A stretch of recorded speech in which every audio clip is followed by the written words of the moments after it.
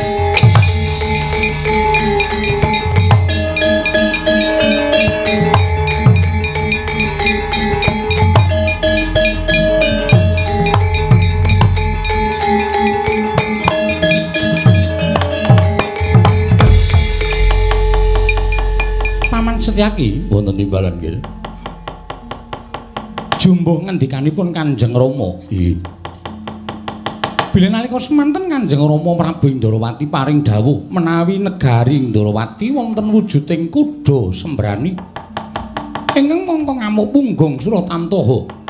Damel risaking sanggya para kawula tuwin karang pradesaning mapan tapel wates negaring Indrawati paman. Nggih. Wonten sabdanipun ingkang Rama ingkang paring dawuh dhateng ingkang paman ing garba ruji. Kuda sembrani ingkang nedeng amuk menika kala wau boten wonten ingkang dipun keparengaken hamenggak tuwin damel sirep pengamukipun kuda sembrani kejawi amung anggir kusuma kilat moko ing parang garuda. Menapa mekaten paman iki monggo slaminipun gesang kula menika dereng nate nyepeng wujuding pusaka. Miwah kula dereng nate manjing wonten ing peperangan dinten samangke gandeng sampun dawuh menipun Kang Rama menawa jengandika anggir badhe selak. Mangke menawi jengandika badhe anyelaki tan wandi sak mangke badhe nampi dukanipun Kanjeng Rama. Lajeng paringipun kula aturi ngasta jemparing. Kuda dipun jemparing. Menawi boten kenging sak kengingipun kula boten saged jemparing. Waton lisanipun wujud kuda. Kula kinten saged kenging wonten ing dadanipun kuda menika. Nyuwun pangestu paman ngatos-atos nggih. Anggere kusuma wilat moko Larwandan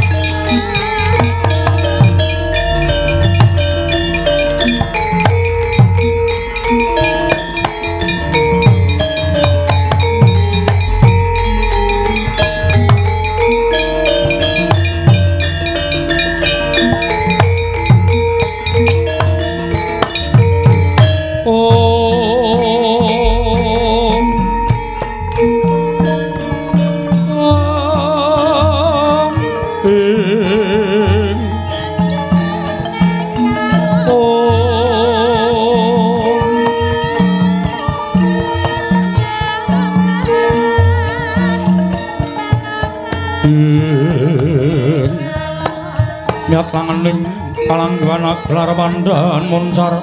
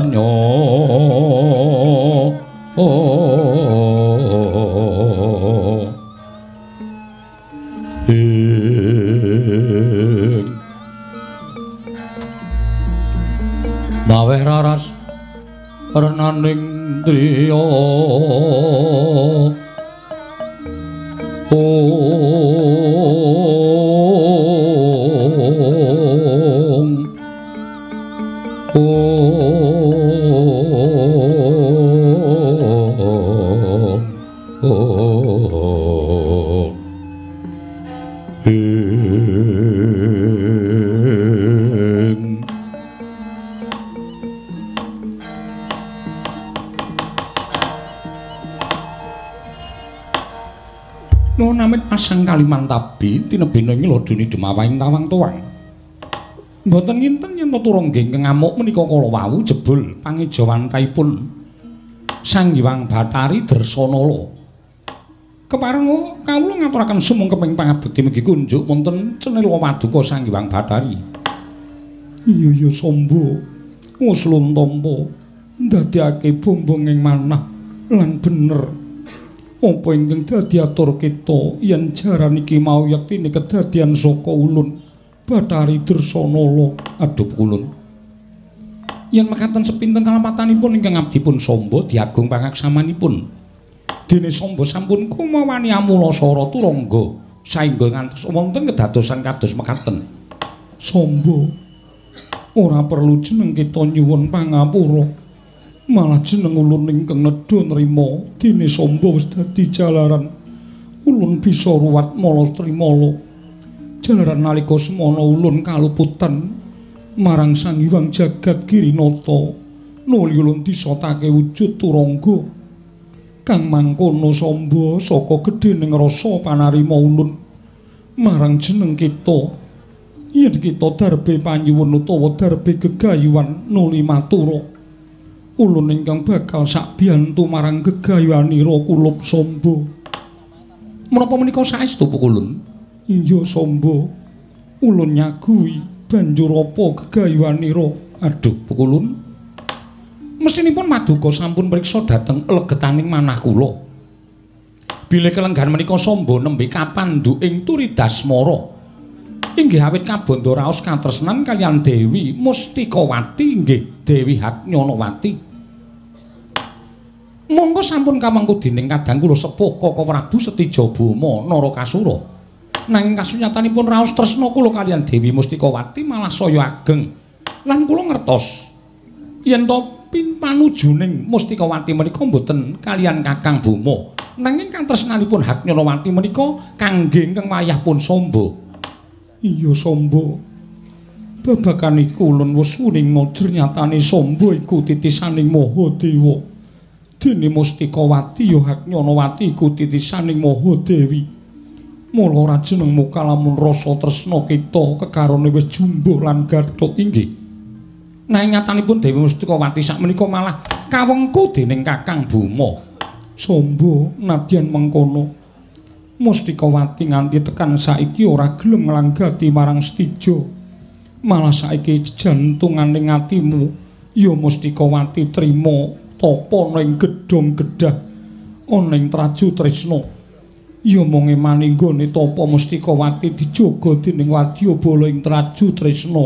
Aduh lajeng kados pundi pukulun menawi kula badhe kepanggih kalian diajeng mustikawati jernyatanipun raos kapang menika sampun boten saged sinayudan. Sombo saka gedhening rasa panarima ulun marang jeneng kita yen sombo kepengin sak pejagong lawan Mustikawati.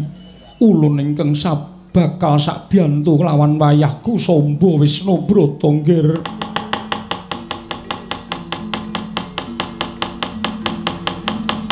Kacarian putra lamun kawekasan. Yeka wis anggeni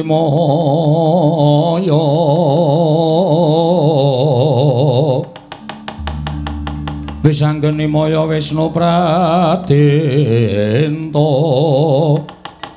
ing.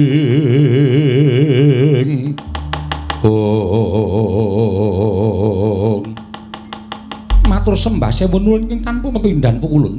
Dene paduka sampun badhe anglulusaken menapa panjangkanipun ingkang wayah pun kusuma kilat moko. Sombo, kula wonten paring adhawuh. Yen to pancen adreng kang dadi rasamu kepengin ketemu kelawan ya kuwi Dewi Haknyonawati ya Dewi Mustikawati. Ayo ngger tak tuntun prapteng ning gedung gedah. Papan nggone Dewi Haknyonawati nglakoni tapa brata nganti kesenggol dening Prabu Bomanara Kasura. Menika saestu pukulun. Iya tenan. Aduh matur sanget tanuning tanpa pepindhan. Monggo pukulun kula dherekaken. apa ora prayoga kowe nyuwun pamit kalian wong atu amu luwih dhisik bab menika kepanggih wingking ingkang langkung prayogi nuruti dhateng raos kula langkung rumiyin anggen kula selak kepengin kepanggih kalian pun Kakang Mbok Haknyonawati monggo pukulun. Kula ing badhe andherekaken tindakipun niwang pikulun Bathari Dresnala ulun ngambah dirgantara tutna ayang-ayanganing ulun Bathari Dresnala niki ngestaken dawuh paduka. Niwang kula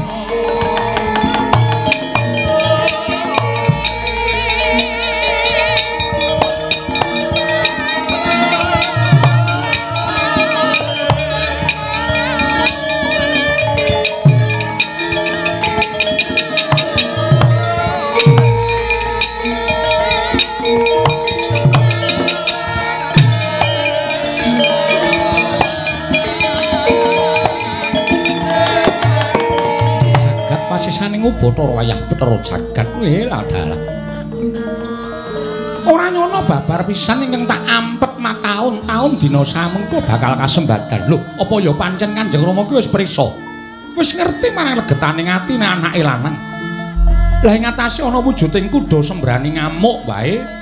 Kanjeng Paman Garbaruja dikeparengake supaya angendak marang wujuding kuda sembrani. Nanging kan didhawuhi ya kuwi Raden Samba. Lah iki eneng kene iki. Wong enggonku wis bisa mateni kuda sembrani, aku iso ketemu karo jejantung ing atiku. Haknyonawati, Mustikawati. Apa kowe ngrasake kaya sing wis tak rasake to, Yayi? Wong ayu aku prapta ning Traju Tresna aja kaget, Mustikawati.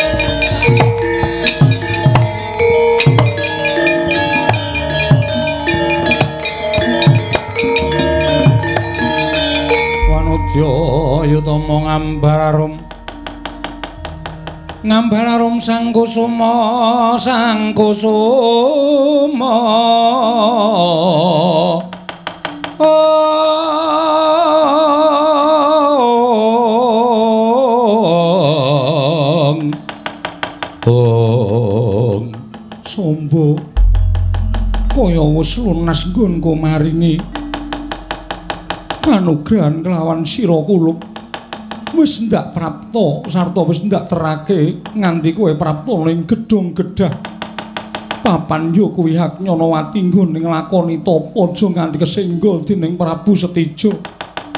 Yo ana ing gedung gedah iki hak nyonowati mapan ning sakjroning gedung gedah nanging aja pisan-pisan kowe wani narbuka utawa mbuka korine gedung gedah iki yo nggir. Mergo bakal gedhe walate. Kulup kusuma kilatmaka wis cukup semene nggonku ngeterke marang kowe ketemu lawan gegantilaning ati bejo cilaka bungah susah mengko sandangan dhewe nggonmu bakal napaki lelakonmu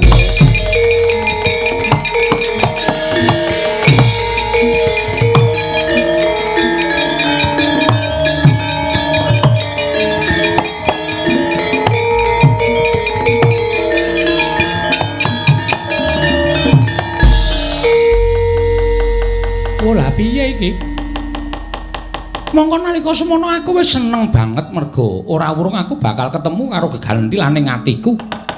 Memani ing atiku jejantung ing rasaku ya kuwi Kakang Mbok Haknyonowati. Bakal dituduhake dening Iwang Pikulun Bathari Dresana. Lah kok bareng tekan kene mengkon ngadep kaca iki aku kon ngilu kon dandan apa piye? Ora ana wujuding Kakang Mbok Haknyonowati, ora ana wujuding Kakang Mbok Mustikawati. Ning tetha dawing Iwang Pikulun Dresanala yen to Kakang Mbok Mustikawati mapan ning jroning gedung gedhah iki? Mara coba. Aku tak nimbali karo Kakang Mbok Mustikawati Kakang Mbok Yai Haknyonawati Mustikawati apa pancen? Kakang Mbok mapan ning jroning gedung gedhah iki? Kakang Mbok Mustikawati Kakang Mbok Haknyonawati Apa ora kleru iki swaraning Raden Samba? Pengendikaning Raden Kusuma Kilatmaka, apa sampeyan Raden Samba putra Indrawati? Wah, lah modar aku tenang ning jero kono tenan Kakang. Kakang Bo.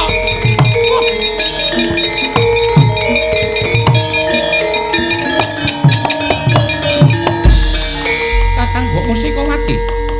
Kakang Mbok Haknyonowati. Raden Samba. Aku ingkang mapan ana ing jroning gedhong gedhang. Iya pancen bener aku Mustikawati. Waduh, mati aku lah krungu suarane wis kaya remuk. Wah, wis dak kaya ambyar atiku. Hmm. Iki lagi krungu suarane ya mergo saka rasa kangenku sing banget. Ngrujit ana ing ati krungu suarane wae kaya wis kaya sumrepet paningalku Kakang Mbok. Aku Samba Kakang Mbok. Raden Samba. Aku hak Nyonowati Raden. Lah kepiye kok dadi iki ora kaling-kalingan kaca gedang ngene iki piye? Pancen ingkang sekawit niatku bakal aja nganti digepok singgol dening Sinuwun Prabu Setija Bamanara Kasura. Tumuli aku etok-etok nglakoni tapa ing jroning gedung gedhang nanging jebul sinuwun setijo ora kurang kakal gedung gedhang kene tumuli diwenehi japa mantra lan aji jaya kawijayan wekasan ora ana ingkang bisa mbuka wujuding gedung gedhang turta dijaga dening saking para prajurit buta ing traju tresna raden sing prayitna ngati-ati yen nganti iso ketemu karo prajurit Raju Trisna bakal geger ora karo karuwan kahanane. Lah ning aku ketemu pengen pinanggih karo Kakang Bagyalawati. Semono uga aku Raden rasa kangenku wis ora bakal bisa diselaki meneh. Sarta rasane kaya wis diremuk dijur-jur dening lumaku ning dina ingkang pendak dina tansah gumana musik ana ing paningalku citraning Raden Sombo ingkang pranyata. Ingkang banget ndak tresnani Raden. Waduh lah kepiye? Lah nek carane kaya ngene iki apa ya memper ing atase jagongan kok keletan tembok. Ing atase jagongan kok ora weruh siji lan sijine iki apa ya kepenak le jagongan. Monggo yen aku kelakon kasembadan bisa ketemu biyo ya kaya ngopo tandangku mesti kowe ora bakal iso nandingi kridane Raden Sombo. Yen pancen kaya ngono kersane upama iso sak pejagong mesti bakal tak slenggarake aku ora bakal nduwa kekarepaning Raden Samba ya mung gendeng gedung gedha iki ra iso dibuka. Kok sik to. Apa ya memper ing atase gedung gedha kok ora iso dibuka? Ngendikaning Prabu Setijo gedung gedha iki iso jebol iso dibuka yen to Sranane kudu dibuka nganggo pusaka loro cacahe. Pusaka apa? Pusaka apa? Ngendika Yayi Nyolowati maragake aku ing bakal ngupaya. Pusaka loro cacahe siji senjata cakra angka loro. Wujuding pusaka nenggala. Yen pusaka loro kuwi digunakake mbuka wujuding gedhong gedha iki bakal kasembatan. Raden Sombo ketemu karo Haknyonowati lenggah sing sekeca nek perkara pusaka loro kuwi gampang kowe ora ngerti terus Jata Cakra kuwi kagungane wong tuaku nenggala kagungane wong tuaku Kanjeng Rama ora maningake senjata cakra.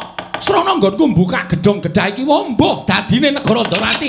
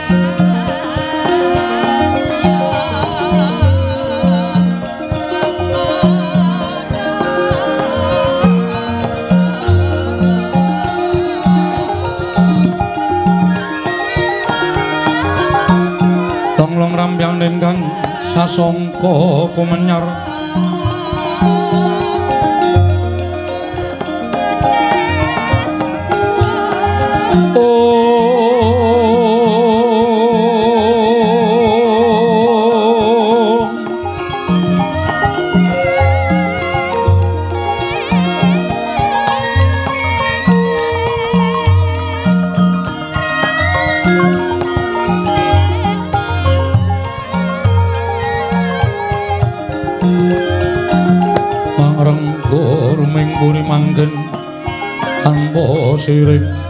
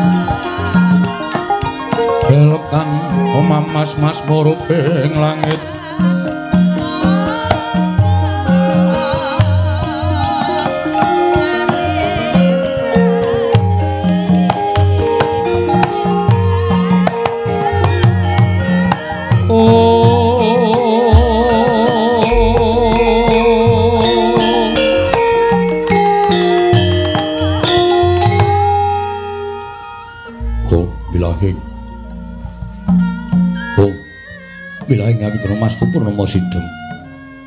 Hawi kena Mastu silat meriwang jagat karana sirang tondo kawisisaning bisana. Sono sinamung nang mulo pesta mases tandun lampahing budo jinantur tutur. Katelo tulat-tulat melap deng paradya winusita ngopo pramiskara karana gyatim ing jaman purwa.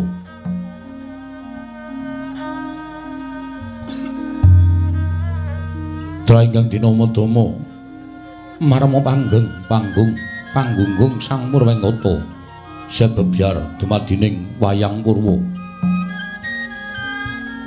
Barwakaning kondoli narik runtuting basa denging gunung musuh rasa. Yen narasa ya karos.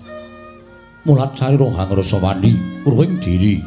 Rasa rumangsa rumangsani lir jalma wilukaca. Jareme wis renakup caing carita becik wis gemelar jroning pangkeliran yaiku sejati namriksani pagelaran ringgit purwa. Surya Candra Darun Yang Kartika pinurba kodrating kawasa. Sarira triyangi tri bawana purwa tekeng duksina gilir gemanti. Teman dadi petanganing dina sasi warsi windu kang sarta abad. Tetukulan tangkar tumangkar kaya sirambun kaya Jawa pating krembya. Dadi padhanging kutu-kutu walang atoga. Buron wono mihang brontoya dadi branan pawicalan padhang trawangan nari sang bang rawi ingkang arsa merbawani jagat. Mungguing jagat wetan dumungup-mungup mungguing hangren wukir abang merengangah. Lamun kaeksi yayahan dilat dilato bumi. Saya dangu saya dangu. Sumunu sang arko katon semebalak kelan giring abange semut jenar kaperbawan nari sang bang basonto Dalem dawa katon ijo royo-royo hamangku gunung ingkang biru moyo-moyo. Pucuk ing gunung kenemelan gendanu kasir ing prabancana lenggat lenggut nganti kaya gunung makutha mega. Tanpa tawis dangu selaing kawula dasi. Dene rasa ngupaya boga garap tegal sawai. Anglur slur tanah pedhote sinambi sesendonan sesindenan mikul garulukune hanggiring raja kayane samene ana pirembagan Samarwangi. Sang Warga saya dangu saya inggil katon sunar jagat kus katon melo dening ingke bar papat lor kidul wetan kulon. Sunare jagat kang samrebut biyada, rebut tejo, rebut kekuwung, parandene tatan ana ing kemadani, kekuwunging praja ing Dwarawati, ya ing Dwaraka, ya ing Jenggala Manik, Mobil kali satu tanantu kali sewu tanjang ketiga. Krono negara Ndorowati dumati saking pulau-pulau babanjaran. Singasa pantoyo benawi tinampi ombak samudra birang langut kang tanpa pagut. Pegating paningal kapanto uruting Cakrawala, wane-wane cakri ing wisik. Samene kineping jurang corong, kinepung guwa sirung. Kinaryo susuing peksi lawet yang sarang burung. Wonten ugi pasisir antar sasana jembar kebeganing pasir gemelaring garis pinggir. Tanem tuhan rebuyung royo-royo karang kitri ruwi-ruwi roning klopo pratondo bumi subur pasiten mawur. Satengah tinandur tangkar tumangkar kawur yang dadi. Gunung-gunung kebanjengan hangrang sang langit. Lenggak linggok lampeng tu yang mijil saking sendang-sendang. Wening tertane iline pinoro poro plainiti nampi waduk bentung-bentung kinalio hangilir sawah miang patek galaning Wakal pangulaing tetanen bebasantan ana bisa cengkang kang selo. Sadaya tiranduran tantu kang ora kapi, tandya Bathari Sri Aglaring Pasabinan, Yayah Rukmi Sari kang pinangku pertiwi. Patugane nunggu pluwi cengang rumpi gogodhongane, ambyet wae nganti kaya manglung-manglung wit pitane. Polo kependhem, polo kesimpar, polo gumantung. Sadaya tanku jiwa, cinawi tukulan kang mawek kesarasaning diri. Ingon ngono Joko ya pitiwin sang sang lamun sang agelaring pangonan. Lamun manci serap Surya Samya mulih marang kandangi dewi-dewi. Datan ana carane kandhang nganggo kinancing palang lebet tepi saking tindak Durjana cuti. Samya sayek saka kanthi akarya ngluring nusa bangsa tuwi negari Ndawrawati.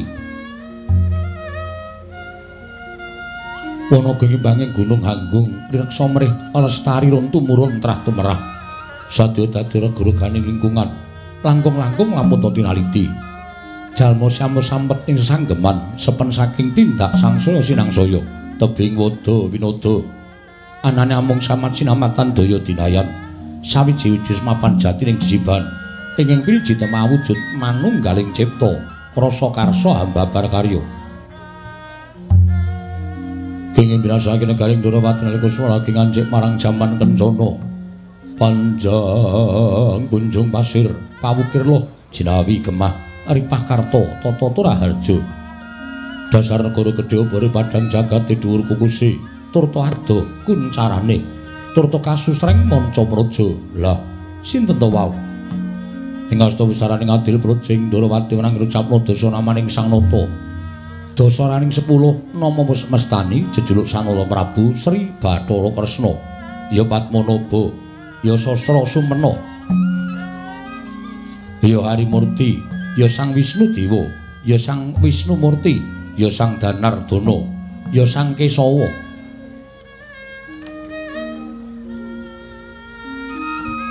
Narendra pepakuning jagat ingkang ganggung jejakaken kautaman. Risa juga lenggah madaning dampar ora mantra-mantra sipating ubadara. Yaya Sang Hyang Bathara Wisnu angge Jawanta binayang bayang sangganing Apsara Hapsari saking kasuwargan. Ing jawi andir mlabar sangganing para naika samya gantung pasisiran jejel riyel rapet-pepet pipit prasasat atau pandengkul. Balandene katingal didem datan kantun sangganing para pinisepuh agul-agul negoring Ndorowati ingkang sampun kemareng jangkep munggih ngarsaning Sri Naranata ing Ndoroko. Ingkang sampun kemareng nerpepeh, nerpepeh pindha sata metarangan suku janggut teken dodo mabukuh Susilastawa. Menika to warnane putra nata satring parang Garuda, Raden Samba, ya Raden Kusuma Kilatmaka. bagus citrane receh pangandikane pengawak menjangan ketawang Anggo Mastuti dawing Sang Sri Nararata mila datan mung lamun tansah cinaket dening lenggahing Sang Buminata Raden Arya Samba mengeraken gegedhik tetanggulaning kewu Praja Indrawati satring garba ruji Raden Arya Setyaki. Ya singa mulang jaya ya Bima Kuntring ya tambak yuda ya Yuyudana. Ya Sang Wresni Wira.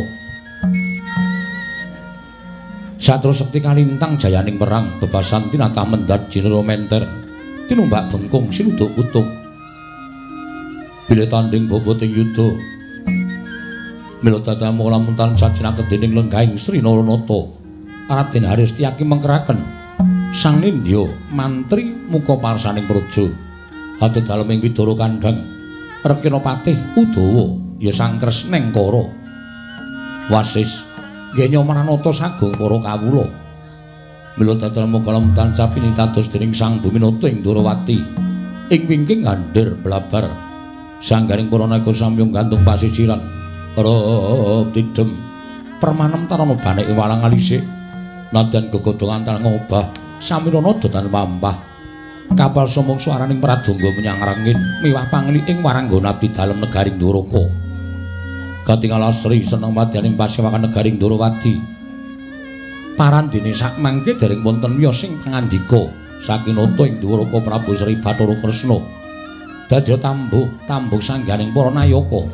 Bayana wigati apa dene Sang Sri Narayata dereng kepareng amadhara pangandikan. Dadak sakala ing mangke kawis ngarawipun nata agung ing Mandura Sang Nata Prabu Baladewa. Irwis nyomang minggah Datulaya. Kaya kapiyuk rerangkulan kelanggeng kerayi sigra lenggah jajar lawan sang buminata anyarengi swaraning bendi munya mangungkung Kajena beli sanoto ing Darawati arsa medhar pangandikan. Dadi aku mangmuli jeling pangandika sanoto ing Daraka ing dereng kababaring lesan.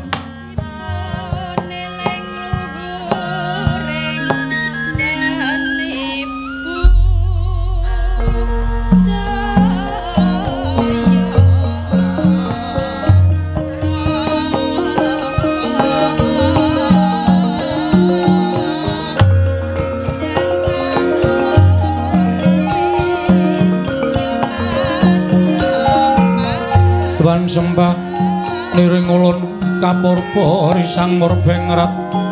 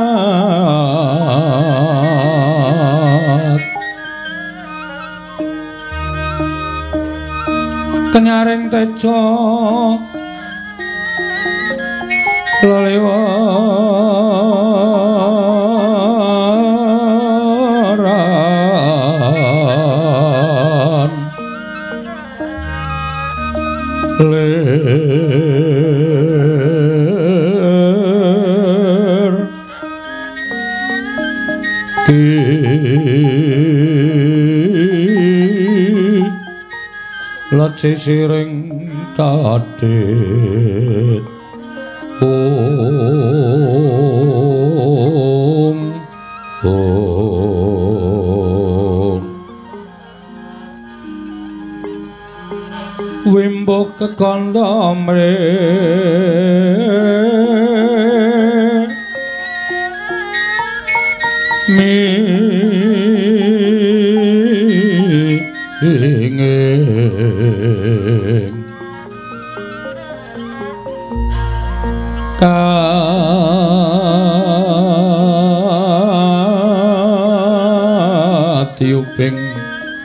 મારું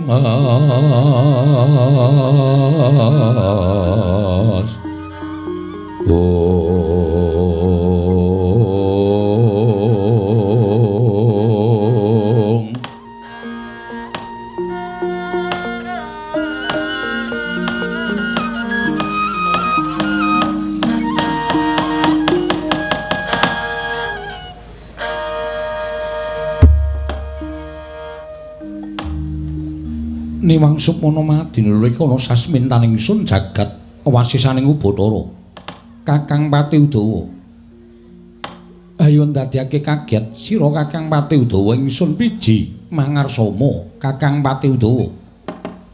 Oh, nun inggih diweji. Sesembahan kula. Pangayoman kula wonten ing Madyapada prapting delahan. Wanter sabda paduka Gusti kula ingkang sinuhing Darawati. Wonten ing jawisan kuwatos sing manah pindharon salomba pinanjering alun-alun kumite racaruk maras. Nanging sareng wonten ngarsa paduka tebih saking raos kemarasan. Sinuwun wanter sabda pangandika paduka ing abdi kepatihan cumadung dawuh. Kakang Pati Udawa iya. kadiparan nanggone Kakang Pati Udawa ingsun percaya minangka dadi badal wakil ingsun marang tata-tata rakiting negara Indrawati. Kakang Pati Udawa mara diaki matur marang panjenengan ingsun samendhang aja nganti ingkang karempit. Menawi paduka miji bab tata rakiting praja sadaya boten badhe anguciwani. Para kawula sami sayek saeka kapti akar luhuring nusa bangsa tuwi negaring Indrawati medhaipun Para abdi Prajurit boten kendhat anginipun sami gegeladen olah kridaning aprang sawanci-wanci praja paduka katemping marang muka. Boten badhe anggepok kunca paduka Gusti kula ingkang sinuwun ing abdi kepatihan. Remuk kasawurna putung sumangga kabandhemna diweji. Kakang Pati Udawan dadekake bombong tias ingsun. Ora liwat pakaryan ingkang utama tindakna selawase lan kaprayogakna anggone Kakang Pati Udawa ngadhep ning ngarsaning ingsun.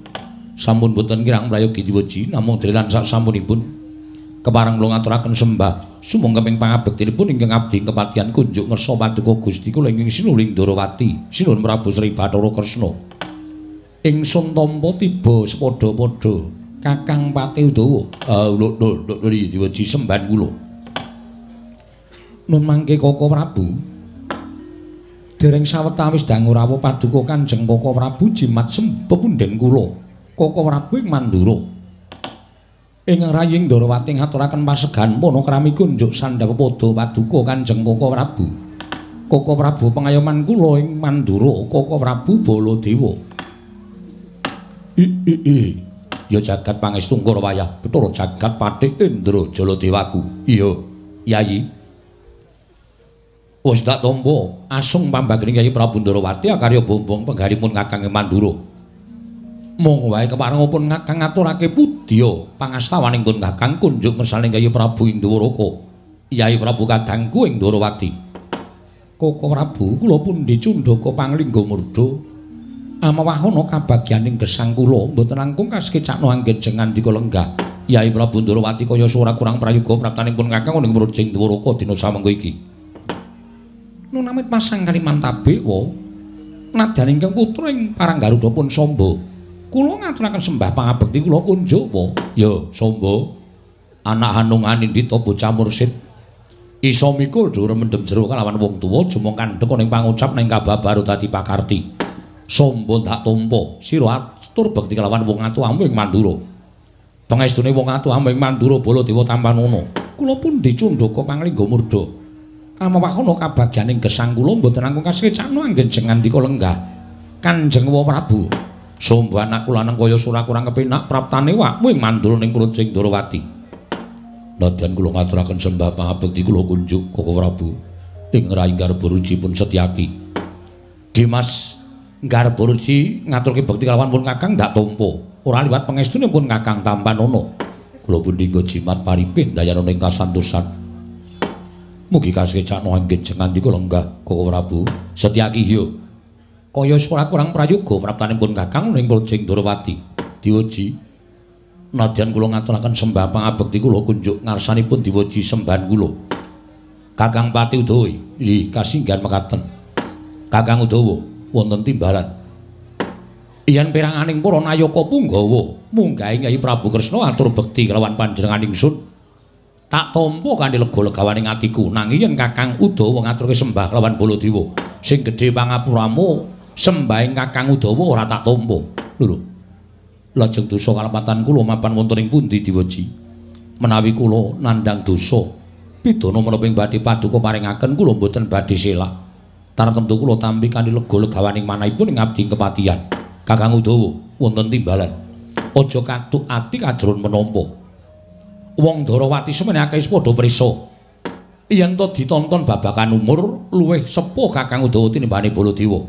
Mula ora ana jamak lumrahe ngatasé ordo ngaturake bekti kelawan taruna. Dosa apa ingkang bakal ndak sandang walat apa yang bakal ndak lakoni. Mekaten sinuwun. Luwih-luwih yen to ngelingi Baladewa bisa mukti ngawi bawa Nyokrawati mbau dendho. Iki rak saiki. Biyen nalika aku isih muda tumaruna mapan ana ing Widara Kandang. Aku digula wentah dening Bapa Sagopa lan Kakang Udawa melu gula wentah kelawan Kakrasana duk nalika semono. Mula ora jeneng ilang-ilangke. Upama aku wis dadi ratu kuwi merga saka kabecianing Kakang Udawa lan Kakang Udawa nggone wis padha mbelani kelawan Baladewa wekasan aku iso dadi Nalindra Namrajing Mandura. Mula yen aku nganti nampa sembahi Kakang Udawa dosa apa ingkang bakal tak sandang ning kosok baline. Aku ora bakal isin, aku ora bakal wirang. Yen to nadyan wis dadi nalendra, nanging aku ngaturake bekti lawan Kakang Udawa, tandha bekti ning taruna kelawan Werda. Sembahku wae tampanono Kakang Pati Udawa. Nuwun sewu, menika saestu sinuwun. Yo, lahir batin. Waduh, matur nuwun sinuwun. Wah, bejo kemayangan awak kula. Ing atasipun kula menika namung derajatipun patih dipun sembah dening Nalindra. Weh lah, ewa dene ning omah aku diwaneni bojo. Ning kene entuk sembahing Nalindra, matur sembah nuwun dawah sami-sami. Dipun sekecaken anggenipun lenggah sinuwun. Yo, Kakang Udawa kaya ora kurang kepenak praptaku ana ing negara Ndrawati. Koko Prabu. Sewu-sewu kalepatanipun ingkang rayi tadah wadana. Dene kula wantun amboyongi dhateng rawuh paduka Kanjeng Koko Prabu lumantar nawala ingkang sampun kula aturaken. Dinten sakmangke Koko Prabu sampun kepareng tedhak wonten ing Projeng Durawati. Kresna kula wonten timbalan. Sumengko sowaningipun Kakang ing Mandura. Daya-daya prapteng Projeng Durawati nuruti nawala ingkang nalika semana. Iyai paringake lawan pun Kakang lumantar gandhek sak kembaran. Bareng tak surasa isining tulis jroning nawala yen to dina samengko Sira Yayi nimbali kelawan sowaning pun Kakang Mandura. Gandeng saikipun Kakang wis sowan ning Projeng Durawati, apa to kang dadi wigatine? Yen kepareng sarta diwenangake kapireng dening sangganing para nayaka Punggawa, gage wedharna ning jroning Datulaya. Nanging yen to wadi tumraping para kadang sentana, ayo Yayi. Ndak derekake manjing jroning kedaton pepanggihan caturne to kelawan pun Kakang Mandura. Pun Kakang Nedya ngangrungake jangga nilingake karna Mastuti Sabda Tama kadangku ing Durawati Yai Prabu Kresna Yai Prabu Padmanaba Hendra ingkang puspita rum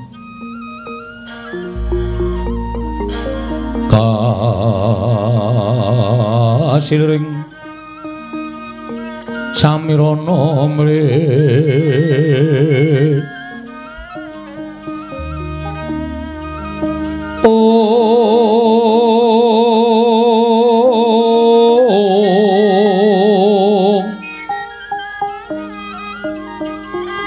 sekar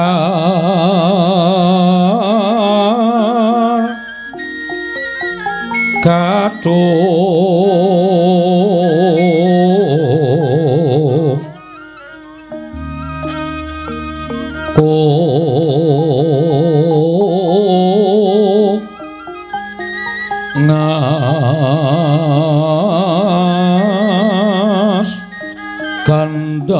kandanyo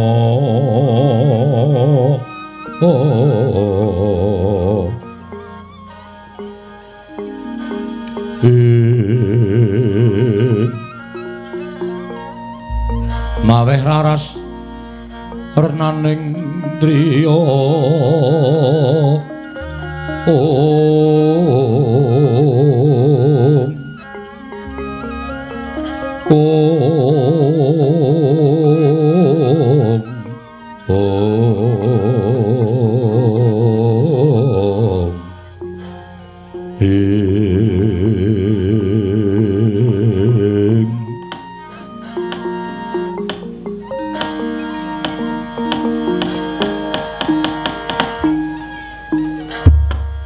Koko Prabu.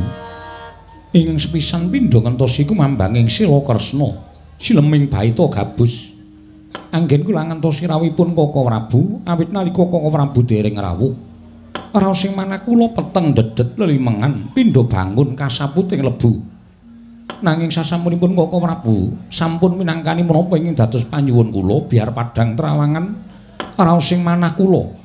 Pepindhanipun ngabdi dene lumampah wanci panglung kepapak obor sewu Krana saking pandugi kula inggih namung jengkoko Prabu ingkang saged pinangka dados damar pepajar pepetenging manah kula. Ing mekaten saestu diagung pangaksamanipun bilih arawipun Koko Prabu sanget kula pondongi wonten negari Ndorowati. Yayi, kula wonten timbalan. Nadane ingkang raka ing Mandura diagung pangaksamane. Yayi Prabu dene semurandat nggih Kakang minangkani keparing Yayi Prabu. Nanging iki malah ndadekake gumuning pun Kakang marang Siadi lan tuwuh tandha pitakon jroning batine pun Kakang ing Mandura. Apa to sababe?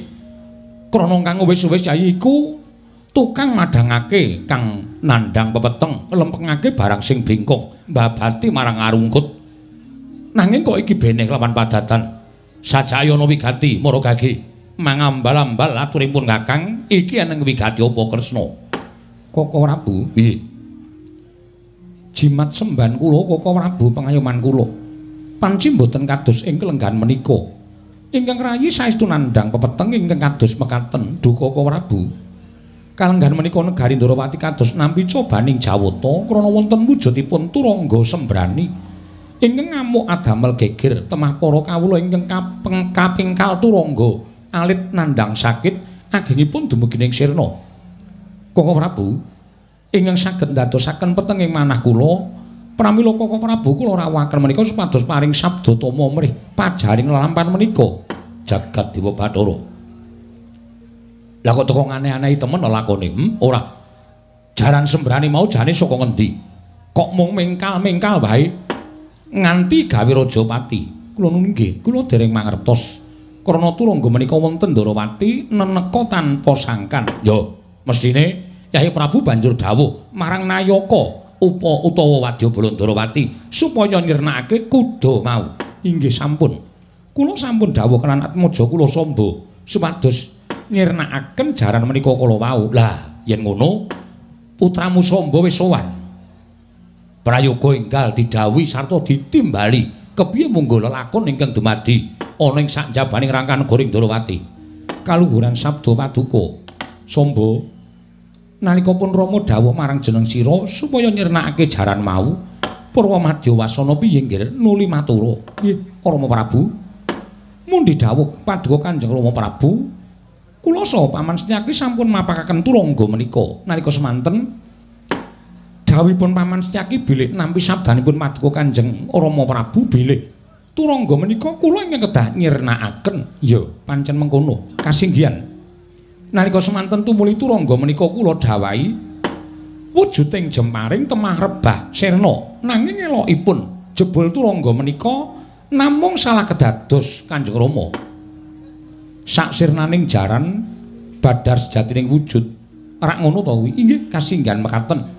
Widodari saka kayangan Bathari Dresanala lan yo merga sira samba wis bisa dadi jalaran ruwat mala trimaning Bathari Dresanala Sombo banjur nyuwun pambiyantu supaya bisa dilarapake ana ing taman Kaputren Traju Trisna. Sing pamriye Sombo bisa sak pejagung kelawan Mbak Yumu Dewi Mustikawati. Ya ngono apa piye? Iya, kasinggan mekaten. Rama malah sampun prisa. Ya, yektinipun Rama wis pirsa. Mulanipun Rama dawuh kelawan jeneng sira Sombo supaya nirnake jaran mau, supaya sira isa bisa rumagang karya kena kanggo tepo palupi. Yen to dadi anak ratu mono aja mung enak-enak kapiyenak aja dadi bocah ingkang mugungan munggah umpakan nanging jebul tinemune wal gendongan mrucut saka kudangan. Sombo ingsun pitayakake dawuh marang jeneng sira. Nanging sira malah gawe bribi ing perkara. Sira malah wani ngewat marang Dewi Mustikawati. Sira ngerti yen iku Mbak Yumu ipe krana Haknyanawati iku wis kawengku dening kadangmu tuwa ing Trajutrisna inggih. Nanging nuwun sewu rama. Najan dipun selakana nyatanipun kula kalian Kakang Mbok Mustikawati menika sampun sami-sami tresnanipun lan malah sejatosipun Kakang Mbok Agnyawati sekedhik kemawon mboten gadhahi raos tresna kalian Kakang Buma pramila kula lajeng wantun manjing taman sak pejagong kalian Kakang Mbok Mustikawati menika. Kala wau Rama Prabu. Samba kula wonten timbalan nadyan kepiye wae iku jenenge nerak pacak nerajang perbatang. Sira kula pus nerajang angger-angger sira wis ngrusak pagerayu sombo Apa mun Rama nate mulang marang jeneng sira kang mangkono iku kok dadi sira nerak pepacuh? Monggo pun Rama wolawali wis paring dawuh marang sira Samba yen gedhe pangarep-arepipun Rama marang sira bebasan ana tembung taruna ngungkulana bapa. Pengajaping pun Rama sira ora mung pinter nanging uga piguna. Ora mung piguna nanging kudu pilah. Ora mung pilah nanging ora pilih-pilih. Uga tak arep-arep sira kudu bisa ngedoi marang piyala. Uga sugih igo lan partikel lire kudu bisa murakabi marang bebrayan. Kulino nanjakake marang kepinterane supaya bisa sumrambah ing akeh. Banjur pilah. Tegese sira iku putra ratu dene anak ratu kudu netepi tembung mapan nggawa empan. Inggih. Merga ratu mono keblating tata susila. Sak banjure tembung ora pilih-pilih kuwi tegese sira iku atmajaning sun ingkang bakale nglintir ke Prabu Ningsun tegese diarep-arep dening nusa bangsamu lan kabeh kawulamu. Mula uripmu kudu tansah merdika lire mbok rengkuh kejaba saka kuwi kudu tansah ngedoi marang piyala piyala mau anak ratu mono kudu sumingkir saka sakabehing maksiat ingkang bakal njejemberi praja Ndarawati monggo yen ingsun sawang kepinteramu kuwi durung sepiru samba apa dikira pun rama ora pirsa marang kabeh lekasira. Rina wengi jeneng sira mung tansah rupian-rupian suka-suka parisuka nyuda marang kaprayitnaning batin banjur nggon piguna ngendi pigunamu? Aku tak takon. Babar pisan uripmu ora piguna kanggo bebrayan. Rina wengi sing mbok buru mung kesenenganing raga tanpa gelem ngasah diri. Jeneng sira mung tansah ngegungake dupeh anak ratu, dupeh pasuryanmu bagus. Banjur saben-saben kowe mung nguja hardaning nepsu, uripmu malah mbok iseni ora wanuh marang tembung tata krama, ora papan nggawa empan. Sombo saru dinulu ing akeh. Yen putra ratu Ndrawati sing wis kondang kajana priya, ratu Satyaning Rat, ratu jagat titising Bathara Wisnu nanging jebul ngibarat gajah anak-anak tikus. Kose kose kresna kose iki iki cetane piye iki hm? mau ngarep sing mbok rembug jaran ingkang gawe geger negara Ndrawati. Lah kok saiki malah ngrembug tekan kono-kono iki piye? Koko prabu. Piye? Pramila paduka kula rawuhaken menika supados paduka menika pirsa kawontenanipun babakan lekasipun sombo menika kados pundi jatosipun lho lah lekase sombo piye sombo wonten sesambetan katresnan kalian pun hak nyonowati Piye? Sombowan wonten sambetan katresnan kalian Hak Nyonowati. Ngantos wantun ngewat laku bedang. Mongko Hak Nyonowati menika sampun kawengku dening yoga kula pun setijo Buma Narakasura. Ateges sombo menika sampun damel kucem. Anyi Prati rah letuh dhateng pasuryanipun tiyang sepuh inggih ngraying Ndrawati. Gose, monggo dhisik Yai. Yen rembug babakan katresnan ujaring para kaki jari rasa tresna kuwi uruping jiwa ingkang luhur. ora bisa disuwun lan uga ora bisa diduwa. Dadi upamane antaraning Sombolan Hak Nyolowati ana sambungan katresnan kuwi wis sak mesdine lan mesdine kelorone ya padha tresnane. Nun sewu, inggih nanging Hak Nyolowati menika sampun dados tetimbanganipun yoga kula pun Bamanara Kasura ing Traju Trisna. Menika tegesipun Sombon nerak pepacuh benten menawi Mustikawati menika tasih legan. Yo. Nanging ya kudu ditelusur dhisik. Setija nggone Brayang karo Mustikawati kuwi kira-kira piye? mongko kabar sing tak tampa Setijo lan Haknyalawati anggone mangun bebrayan ora bisa atut runtut ora rukun kuwi cetha yen Haknyalawati ora tresna karo Setijo mongko wong omah-omah ki yen kekarone wis ora ana rasa tresna kuwi yen dibacut-bacutke tundone ya ora becik kedadiane dadi upama Setijo karo bojone kuwi pisan nek pancen kuwi dalan sing prayoga ayo piye meneh kabeh mung digoleki apike lan ana kanan kaya ngene pun Kakang malah dadi kelingan marang pengedikaning Yayi Prabu nalika semono. Babakan menapa kok Prabu? Yen setija nggone bangun bebrayan kuwi sing kleru, kleru cak-cakane. Ya merga Buma kuwi duwe aji Pancasona. Pancasanya kuwi ora tepung karo bangsaning wanita. Mekaten ya. Manut dongengamu do nalika semono isih tak gumana musik ana ing penggaling pun Kakang sepisan. Biyen ana pendhita buta peparap Begawan Maruta. kuwi duwe bojo jenenge Endang Sumawi. Ora iso runtut. Ora iso rukun selawase urip nganti Begawan Maruta mati ya ora iso nyenggol Dewi Sumawi. Sing mangka loro kethek ngembang langsep Resi Subali Pendhita Sunya Pringga. Kesipatan Aji Pancasunya rabi oleh Bathari Utara Kasih. Anake Bathara Indra.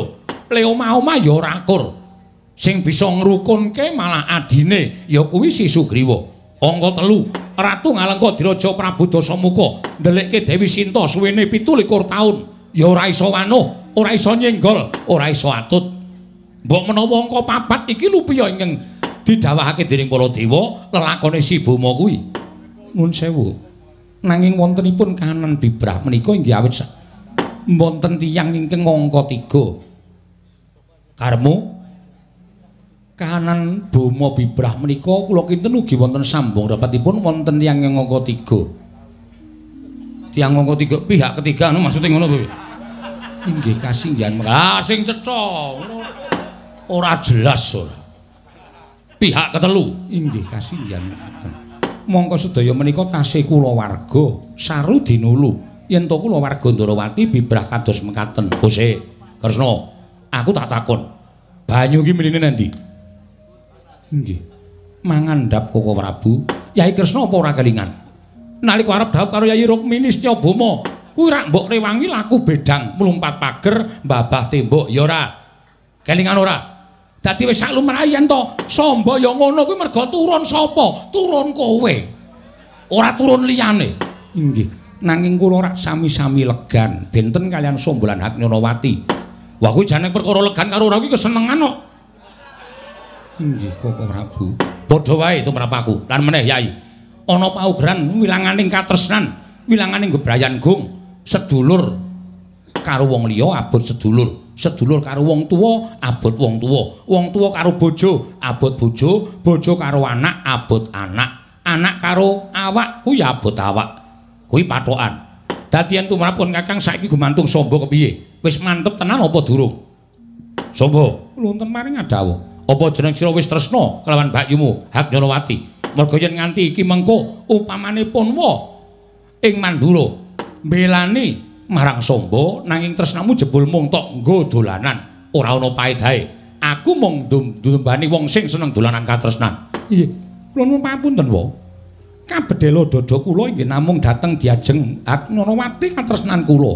Oh Prabu malah dadosaken kawuningan bilih. Kelenggahan menika Mustikawati nggih. Agnanawati dipun tarungku wonten salebeting gedung gedah sagedipun uwal menawi dipun tamani pusaka senjata cakra saha senjata negala ingkang mekaten Rama Prabu mawantu-wantu ingkang dados panyuwunipun ing putra pun kusuma kilatmaka paduka pun samba keparenga kula badhe nyuwun ngambil kagungan dalem pusaka senjata cakra. Kangge angluwari Kakang Mbok Mustikawati Rama Prabu.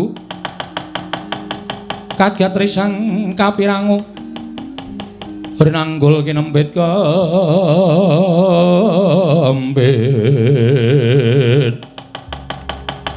Ong.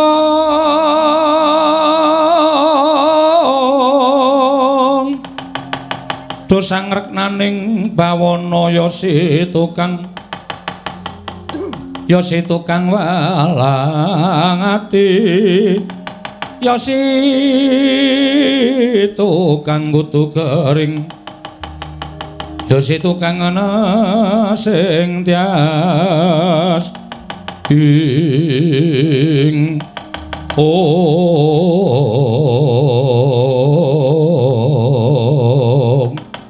om sombo kutung ing nalar landhep dengkul ki ya sira iki. Kudune sira tanggap marang kahanan iki. Mulane hak nyanawati nganti disingetake ana ing gedung gedah iku supaya jeneng sira aja nganti caket kelawan Mustikawati ya Haknyanawati. Nanging sira malah saya nekat dadian sira bakal nyuwun ngambil senjata cakra kepeksa pun Rama ora bakal maringake. Pun Rama ya ora bakal ndumbani marang lekasmu merga yen lekasmu iki yen kedlarung sisip sembir kurang bejane malah mung bakal nglandang carang saka pucuk sombo. Yai, wonten dawuh Prabu. Tak kira ya wis ora kurang-kurang nggone pun Kakang melu ngudari perkara iki. Lan anane Samba bisa sambungan katresnan karo Haknyarawati iki mestine ya ana sabab musababe lah. Yen Nyai Kresna malah mangku asta wisuh lumuh perkara iki tegese ora ndumbani marang Samba. Banjur ana ngendi durunging tembung anak polah bapa prada. Koko Prabu. wonten tembung anak pola bapa prada nanging ngaten menika rak inggih kedah ningali polaing anak langkung rumiyin yen polaing anak menika tumuju dhateng kautaman wajib dipun dombani nanging yen polaipun anak menika nalisir saking bener nerak pacak nerajang wewaler tiang sepuh kok malah dombani ngrajangi menika kirang bejanipun tiang sepuh malah saged tetel derajat lan pangkatipun. Dadi cetane Yai Prabu Ndarawati ora gelem sarta ora sagu dombani marang Sombo lan ora maringi ngampil pusakamu Senjata Cakra. Ngono nggih kula nuwun sewu kula mboten saged kok Prabu. Lah yen ngono sing bakal dombani Sombo sapa kula nuwun mapunten wong salwangsul tinimbanganipun wonten tetembung kriwikan dadi grojokan geguyon dadi tangisan Awulung sak mangke kula negakaken dhateng Samba pisah kalian Hak Nyanawati lan boten bebutek banyu bening kawontenan Traju Trisna. Paripaksa kula nyuwun pamunten. Kula mboten saged dombani Samba. Ya, yen kowe ora gelem dombani, sing dombani anakmu aku, Kresna.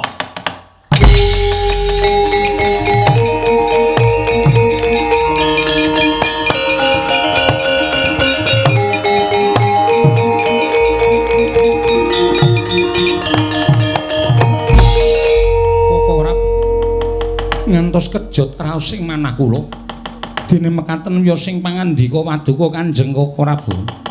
Monggo. Yen Koko Prabu badhe mbelani Samba tegesipun Koko Prabu malah namung badhe mimbui geni. Ngimbui geni menika saya badhe murup.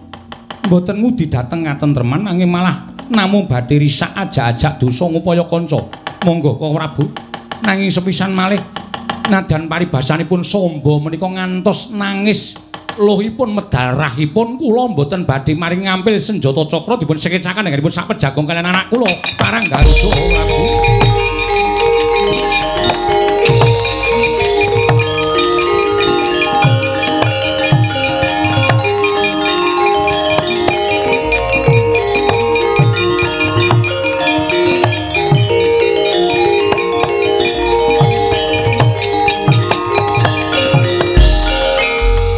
Poto mirah kingsun priatin was pogung mijil tuwu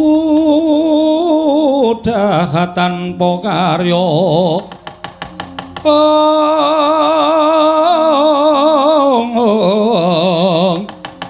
senggang reno mekan gusti gelung reno sak sekarnyo.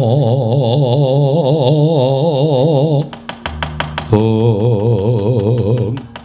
nyun mampun tembok Kanjeng Rama to mulih malah duka.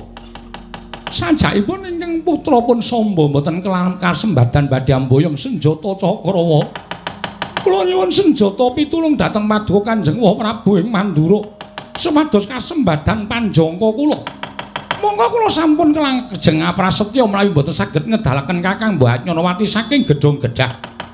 Tumunten kula badhe pados margining pejake mawon sampun boten gina kula gesang wonten ing Madyapada wa Prabu Gose. Gose, sare.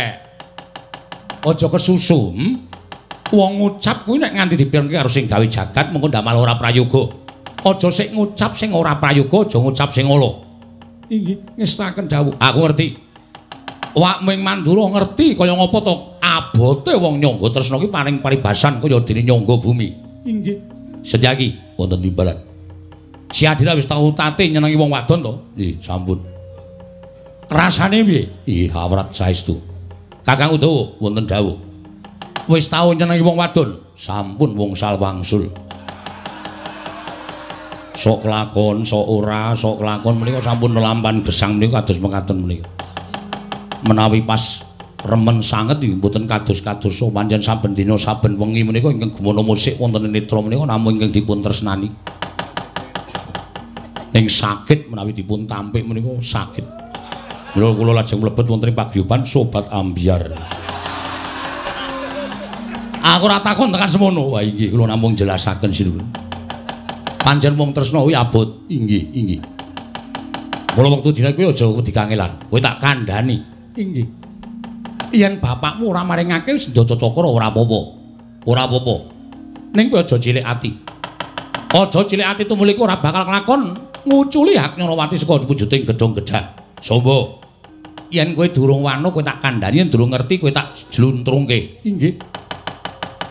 Sejatine ingkang ngastos Njata Cakra pendak dina kuwi dudu sapa-sapa, nanging ibumu dhewe ya kuwi Yayi Jembawati. Sejatine ibumu ingkang nyimpen wujuding senjata cakra. Mula kowe nyilih senjata cakra ora aja nyilih karo bapakmu, nangisa karo mbokmu Jembawati. Nyuwun pamit, kok.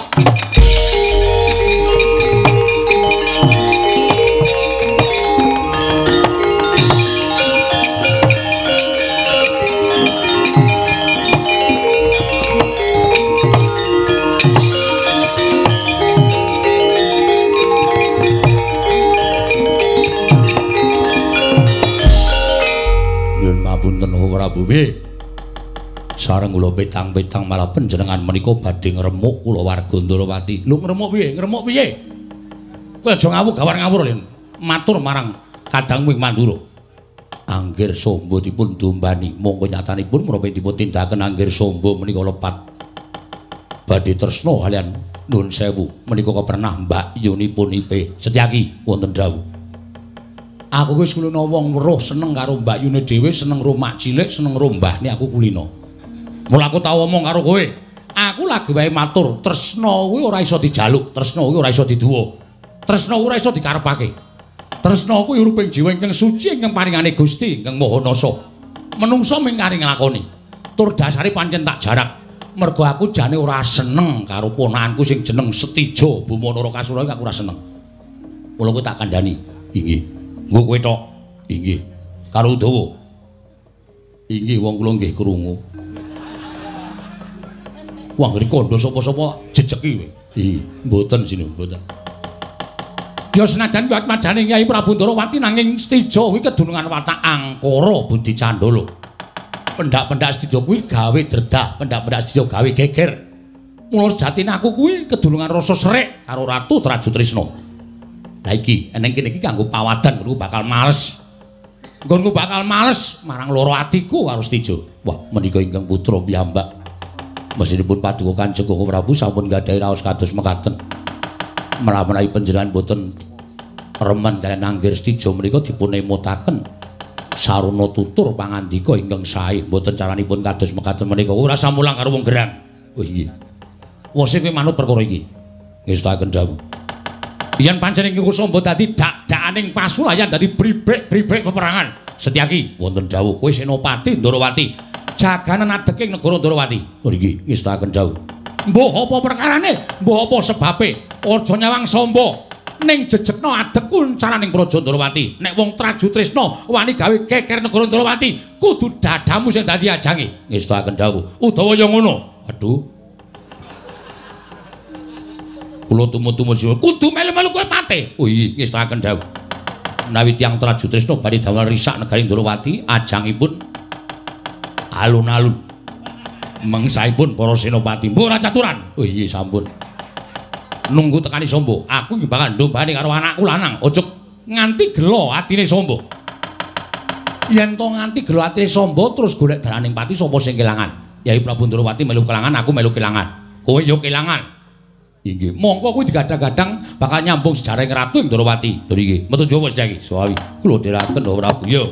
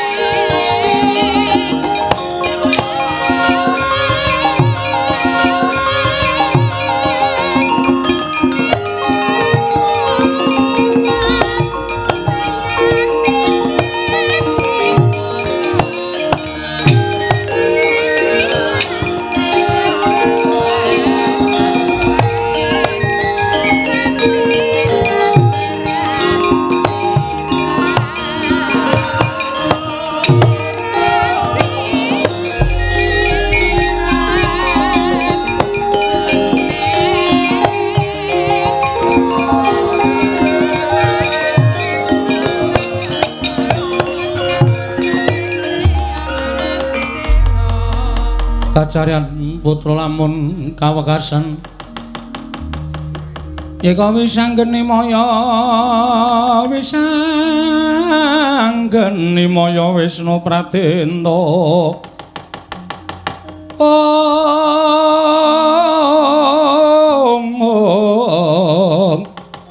Wis anggeni maya Wisnu Pratenta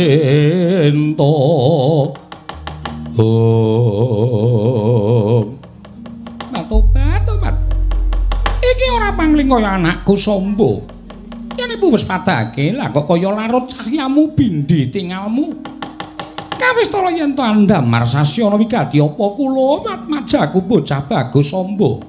Eh, Ibu.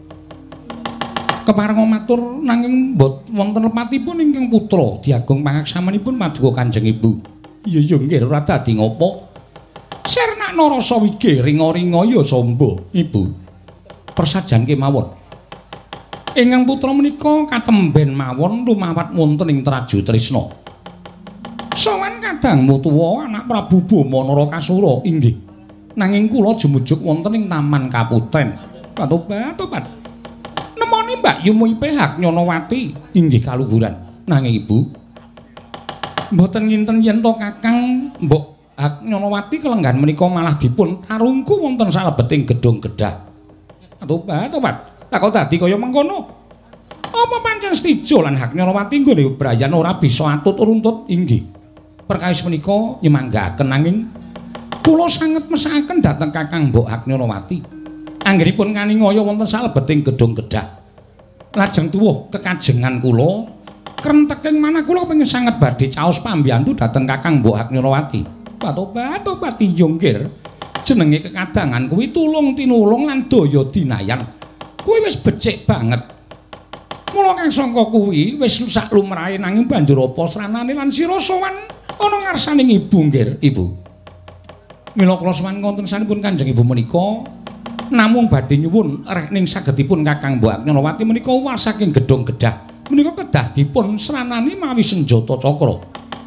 Mongko manut dawuh ingkang kula tampi senjata cakra menika ingkang ngasta kanjeng ibu. Ing menika ibu mawantu-wantu panyuwun kula keparenga kula badhe nyuwun ngampil senjata cakra menika kanjeng ibu. Ing kagiat risang kapirang urin angkul kinombit kembit dosa ngerek naning oh sombo. Reneng kuwi bakal tak nggo nulungi Mbak Yu mumpun ibu ya ora bakal kabotan ngampili. Apa jeneng sira wis nyuwun idi palilae ramamu? Inggih, inggih. Anu Kanjeng Ibu, piye nggir? Yen ramamu wis maringi palilah, mesti bakal tak paringake kasinggihan mekaten. Bab menika kala wau kula wonten ing pasewaken sampun matur Kanjeng Rama tumli Kanjeng Rama paring dawuh kalian kula. Supados kula nyuwun ngampil Kanjeng Ibu Jembawati. Patobat to panjen to pancen kaya mengkono. Aja wedi kangelan tunggu neng kene sawetara tak jupuke senjata cakra gawanen yo ngger nggo nulungi Mbak Yu Muhak Nyonowati. Nun nggih matur sembah nuwun tanpa pepindhan Kanjeng Ibu. Iya, samba, iya.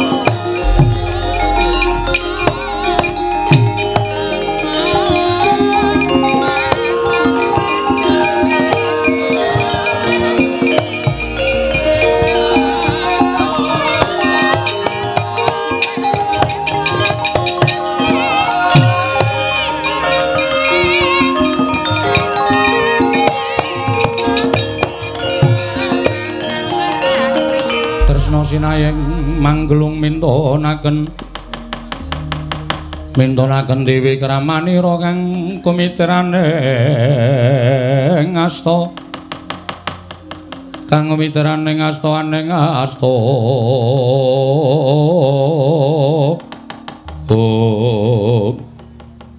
Sarawa Maduka, kula ngaturaken sembah mabekti kula kunjuk sinuwun. Ya, Jembawati ndak tampa liwat pangestu ning Sun Tampanana. Kula mendika jimat paripin dayana ing kasantosan.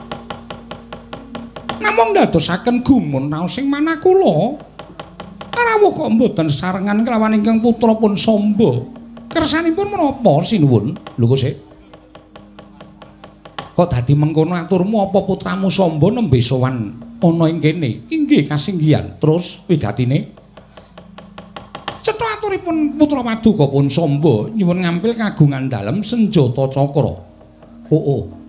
Nyuwun ngambil senjata cakra. Inggih. Lah terus nduk paringi ngambil. Inggih. Krana manut aturipun Samba. Paduka sinuwun inggih sampun paringi dimalilah. Kusik to, Jembawati. Kula wonten maring dawuh. mongko ingsun babar pisan ora paring palilah lan ora marengake yen senjata cakra disilih anakmu Samba. Yai Ratu. Pancen sengaja senjata cakra ingsun titipake marang jeneng sira Yayi kuwi, yektine mung tak nggum nodi marang Yai Ratu Jembawati. Nanging lah kok tinemune kowe malah gedhek antuk pidak jempol nebu sauyun ngethek seranggon karo anakmu Samba. Hmm? Kula malah dereng dungkap keparingipun maduka. Sinuwun Prabu menika paring mangandikan kados makaten menika jlunturingipun kados pundi kepareng mbabar ing sejati sinuwun. Ing Jaja muntap lir kinetap duka yayasinipe. Netra kocak ngundar andir. Oh. Kowe jane ngerti ning etok-etok ora ngerti kowe, hm? genah anakmu sombo. Pakartine sak ngisoring dlamaan nganti bisa mbeset raine wong tuwa kaya ngono, ngerti yo, Jembawati? Yen anakmu sombo ana sesambungan katresnan karo Mbak Yunepe, ya si Haknyonowati. Mongko nggone laku bedang ngewat marang bojone Stijo. Kuwi wis watara suwe. Nganti saiki Haknyonowati disingitake ana gedhong gedah. Sranane bisa owal kudu disranani nganggo senjata cakra lan senjata negara. Lah kok nganti senjata cakra wenehi ngampil marang Samba, mbok maringake marang Samba, mbok silihake karo anakmu Kusuma Kilatmaka. Ora urung ming gelandang carang saka pucuk. Kepara ora suwe meneh seksenana ucape Kresna iki Jembawati disekseni keblat papat segara gunung isine rina wengi. Legetaning atimu ingkang lethek kaya ngono merga kowe ngerti pakartine anakmu ning kowe ora etok-etok ora ngerti. mula undu-unduane seksenana anakmu Samba bakale mati ngenes hak Nyalawati tobat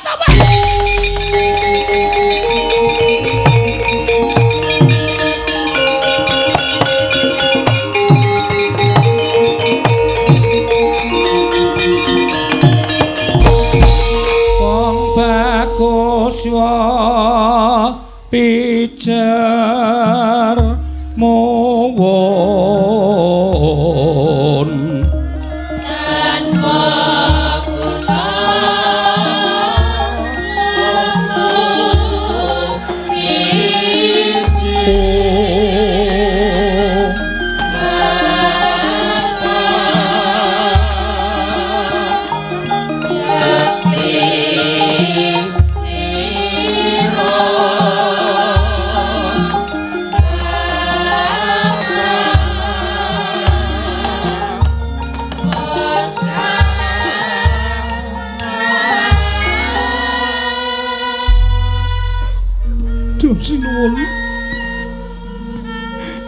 Nadyan kabedha dada kula kapendheta manah kula.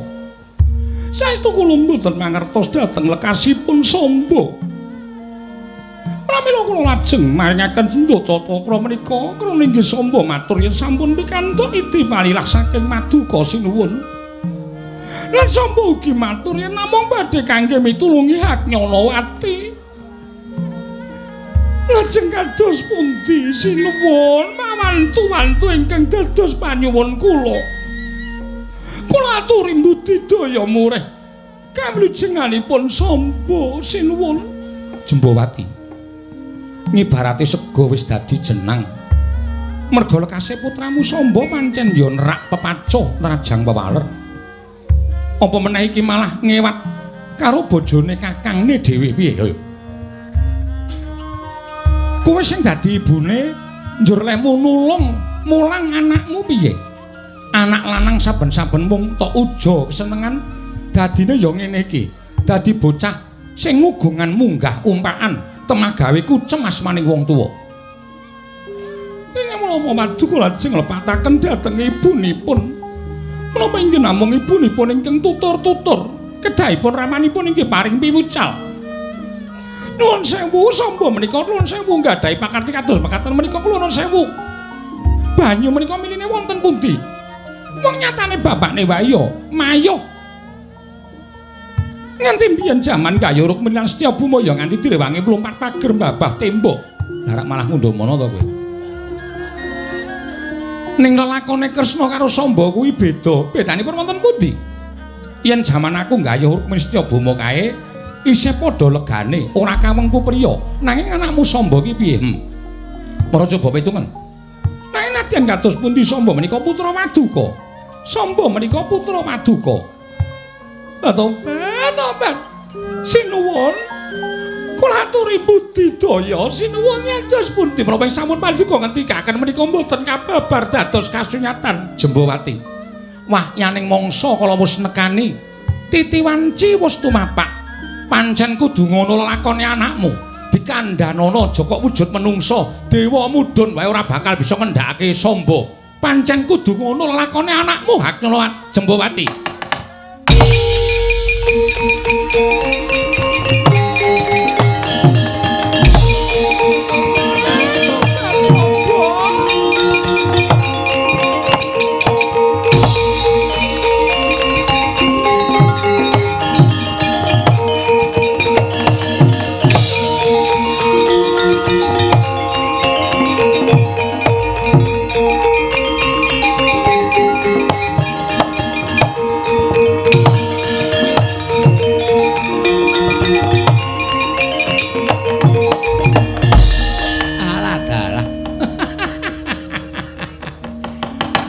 ya pancen bener ngendikane piyai sepuh padha ngandhakake?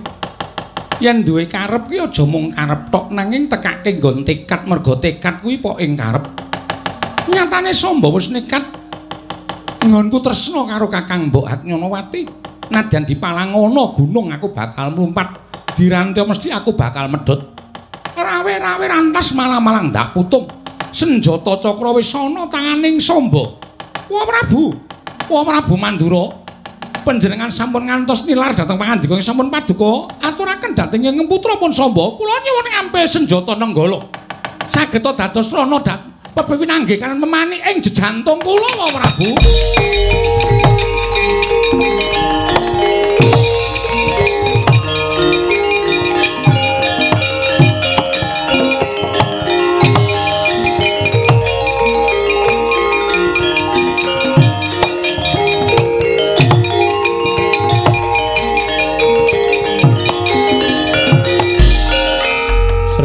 Dewa Narpati Tuwinares Tuwinares ana Kresna kalangkung tresnanira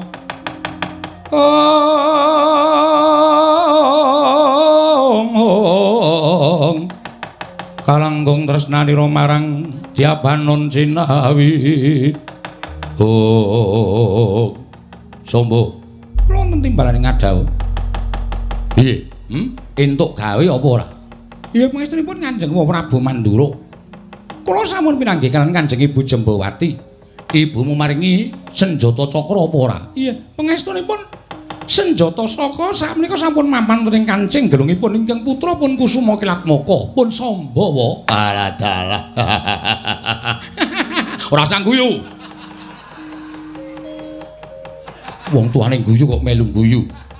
Amargi badhe kasembadan panjangka kula manah kula remen kok lha iya lha iya wong sing jeneng arep ketemu karo memani ing ati kuwi mesti seneng kasinggihan mekaten banjur wong prabu sampun ngantos cidra lho Ngapusi apa?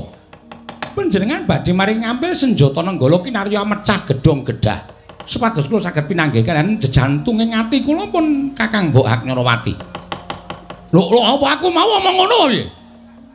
Nun sewu. Panjenengan iki piyai sepuh. Ora mencla-mencle sapenake dhewe. Kula menika sampun mantep ngantos kula menika ngapusi dhateng Kanjeng Ibu dosa menapa ing badhe kula sandang ning perkara dosa ora tak pikir. Sing baku kasembatan penjanganipun sombo.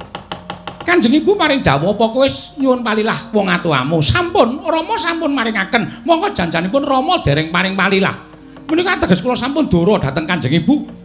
Dosane anak karo ibu menika mboten saged dipun apunten ngantos dumugi jaman menapa kemawon. Kedah dipun apunten menawi anak menika sampun mlebet wonten ing pasiksan neraka ya mani. Kula sampun ngikhlasaken nek Kanjeng Prabu mencla-mencle nuwun sewu saniki ora ana anak karo wong tuanane ming sombo karo Prabu Baladewa. Ayo rupak wani jembar wani. We we we.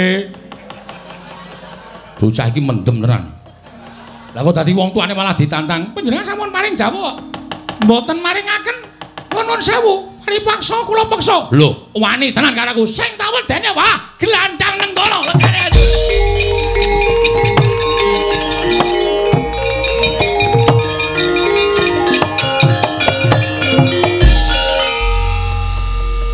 Senengane kok marahi tratapan lho. Kula menika meh mlajar lho menika mau. Lah gene kowe iki kok ora duwe ati kok sosok wani nantang karo wong. Tak suarani glandang negara kowe begijikan lek mung ngadeg kaya arep mlayu. Wis kuwi gawe kono. Inggih. Ya wis, inggih ngesnaken dawuh. Simen ing Kanjeng Gelung. Inggih. Gedhong gedah dipecah ben ketemu karo Mbak Yumu Haknyalawati. Ngestaken dawuh. Remen mana kula? Ah mesti seneng. Le ora seneng kowe kepiye ketemu karo sing ditresnani. Wis kono mangkat to. Inggih ngestaken dawuh. Wis ora usah wedi nek apa-apane kakangmu muga-muga ning Stijo Gunung Kasura. Kowe mlayu karo pakdemu. Kowe wadu lho karo aku. Ngesnaken dawuh. Matur nuwun nggih, Pak. Yo, padha-padha. Nek sampun balekke. Inggih. Menawanipun nenggala menapane dengkulmu mlocot. Nenggala. Inggih ngesnaken dawuh. Ah, remen kula wah lega semplong. Waduh. Anggen kula ngampet menika sampun boten kados-kadosa. Ya wis, kono ki menyang. Inggih. Kakang Mbok Haknyonowati, aku wis kelakon nggawa senjata cakra karo senjata negala. Gedhong gedah tak pecah. Hmm. Kowe ketemu karo aku, Kakang Mbok Haknyonowati. Wah. Hmm. Ha, ha menapa? Wah Prabu gadah menapa ngaten lho. Kang Gedaya kekiyatan. Ha, ora aneh-aneh. Semangane ora. Lawaran sik wae. Inggih ngestaken. Mangkat to. Kakang Mbok, aku sing teko Kakang Mbok aja kaget atimu.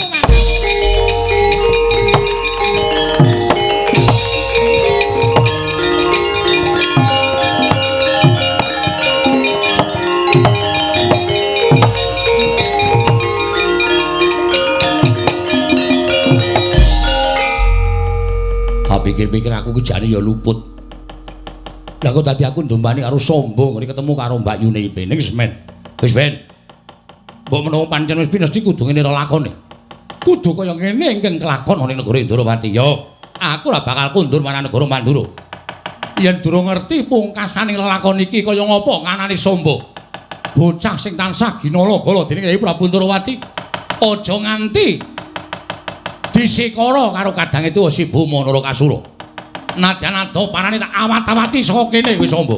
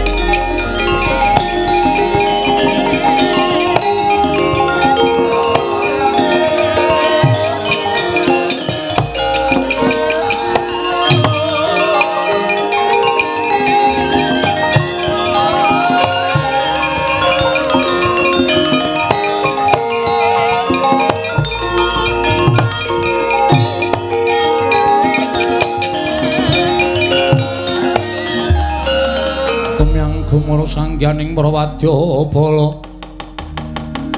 Mandekata lawan bindi pasur tambur myang suling pepandhen dalutak ong ong. Pasur tambur myang suling pepandhen dalutak ing ong ya jagat dewa bathara ya jagat pangestungkara Kakang Mbok. Aja gelo, rasamu aja sedih. Dela angka samba penanteng ana ing gedhong gedhah ing mapanane negara ing Traju Trisna. Apa ingkang dadi sarana nggonku bakal bisa mecah gedhong gedhah. Ingkang wis diwenehi daya kekuatan dening Kakang Buma dina samengko bakal kasembadan. Sak pecahing gedhong gedhah. Kakang Mbok bakal ketemu karo aku, Kakang Mbok. Wis ora iso sinuyudan maneh. rasa kapang jroning ateku ingkang persasat wis ndrbala sak gunung gedene Kakang Mbok. Aku ingkang prapta. Aja sedih rasamu Kakang Mbok Agnyanawati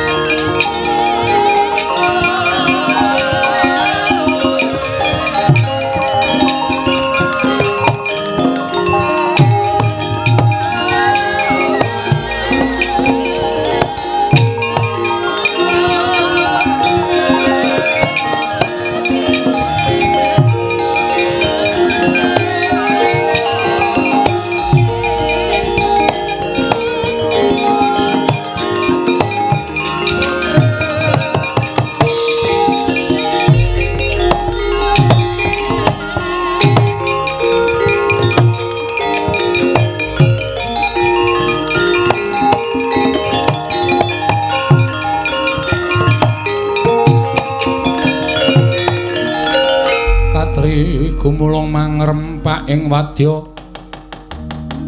makiri rera nanggana magawe gelarira wang-wang.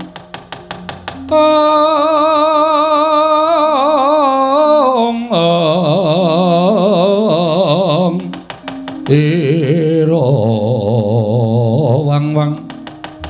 Ong kakang mbok. Kakang mbok hak nyunwati apa kakanggo mireng nglawan aku? Raden Sombo. Kepiye munggo kabare Raden dene? Raden gone bakal mbudidaya.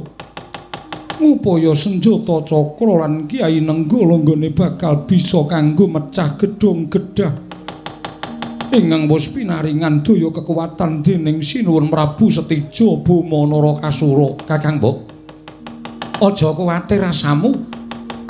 Aja bingung pikirmu dina samengko Kakang Mbok bakal ketemu karo aku Samba.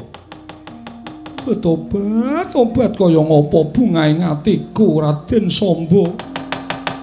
Dene dina samengko Gusti ngijabahi sarta menehi kekuatan nglawan Raden Samba ngene bakal bisa mbedah wujuding gedhong gedhah iki. Mula ora usah dadak sangga rungki Raden tumuli gedhong iki. Pecahan lan Raden kelawan aku bisa sak pejagong Raden. Niatku ora ming sak pejagong nanging ya nambani rasa kangenku. Rasa kangenku marang Kakang Mbok Nyanawati. Aku kelingan nalika Kakang Mbok Nyanawati didhawuhake dening kadangku Kakang Stijabama Narakasura. Ing nalika semono ana adicara sungkeman lah kok sing disungkemi Kakang Mbok dudu? Garwamu Kakang Buma nang nalika semono kowe sungkem kalawan sombo. Malah tratapan atiku duk nalika semono jebul kuwi kinarya pratandha.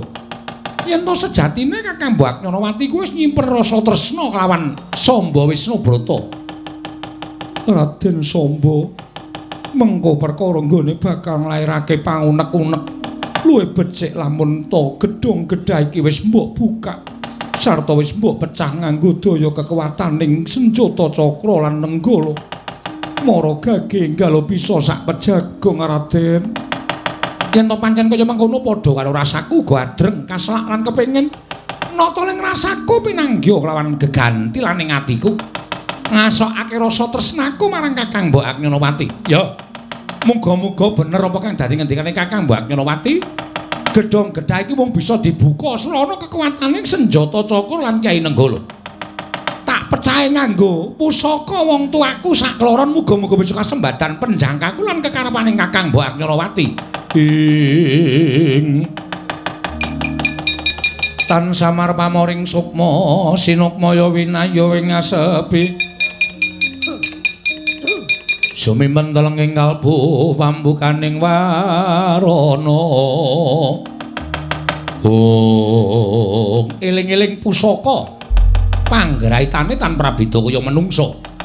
Barang mangke kaya wis weruh marang kodrat lakuning Sang Wisnu Brata ya Sang Sombo. Mila kinarya ambedah wujuding gedhong gedhah ingkang kinarya pakunjaranipun Sang Hagnyanawati. Gineprokaken wani dening Raden Wisnu Brata ya Sang Kusuma Kilat Moko. Satemah pecah punang gedhong gedhah. Ambyar dadi sewalang-walang. Ewa dene kalaning jagat gayaning para dewa. Pusaka kekalih bali marang Nata Ndrawati tuwe Nata Mandura kaget nggih Sang Samba Wisnu Brata wae.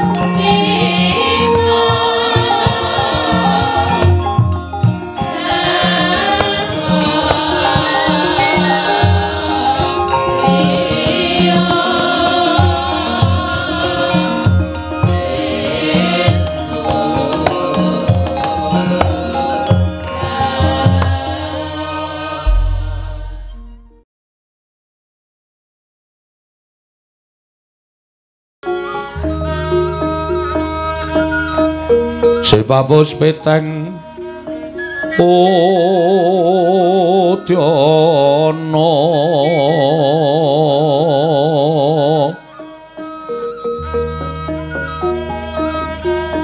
Miang pancra. Sarwarukma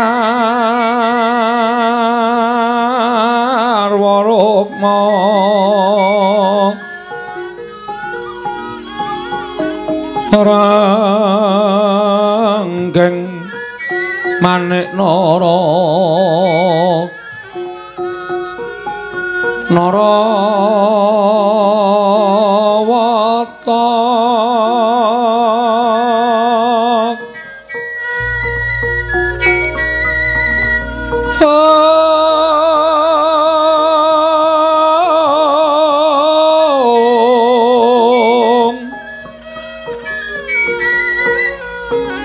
Obro prabanyo kang sumirat. Obro prabanyo kang sumirat.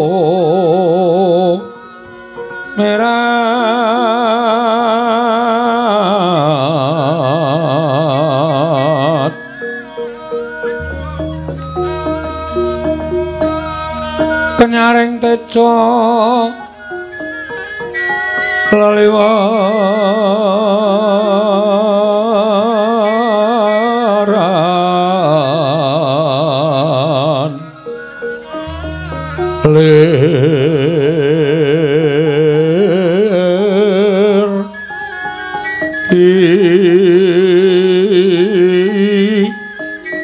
lat sisiring dadet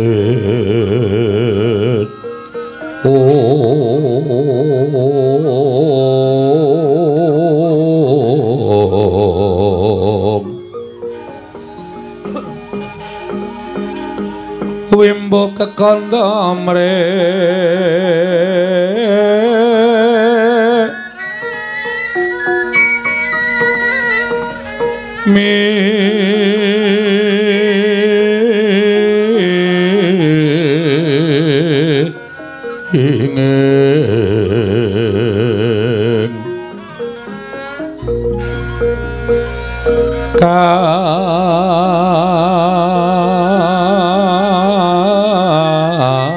tiuping maruta maruta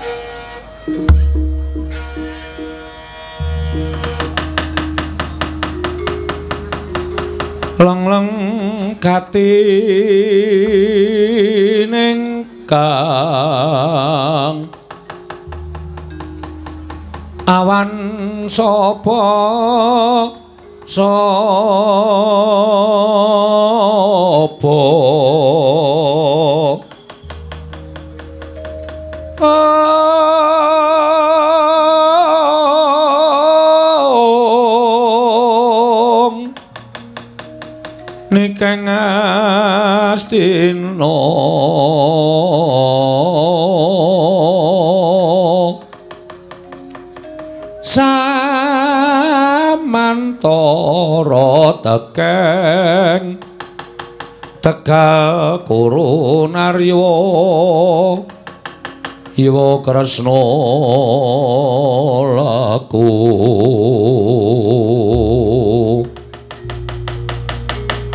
Sireng prasurama.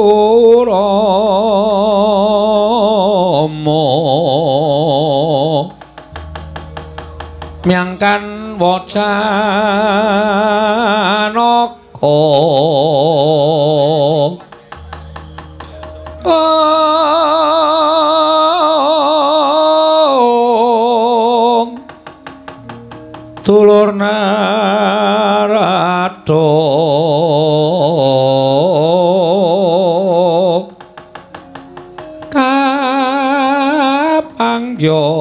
tegal wi luri melu karya sang bupati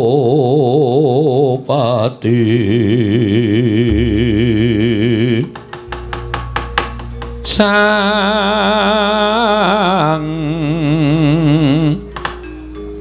bupati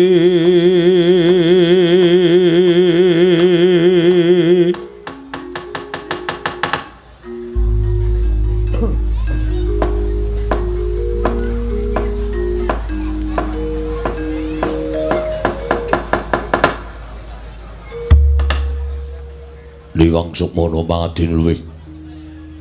Ana sasmintaning sun jagat wasisaning ubatara paman paman mloso senar ayo ndajake gugup pengrusi paman manira biji wenten ngajengan manira paman patih harya sengguni kawula nun nggih anak prabu.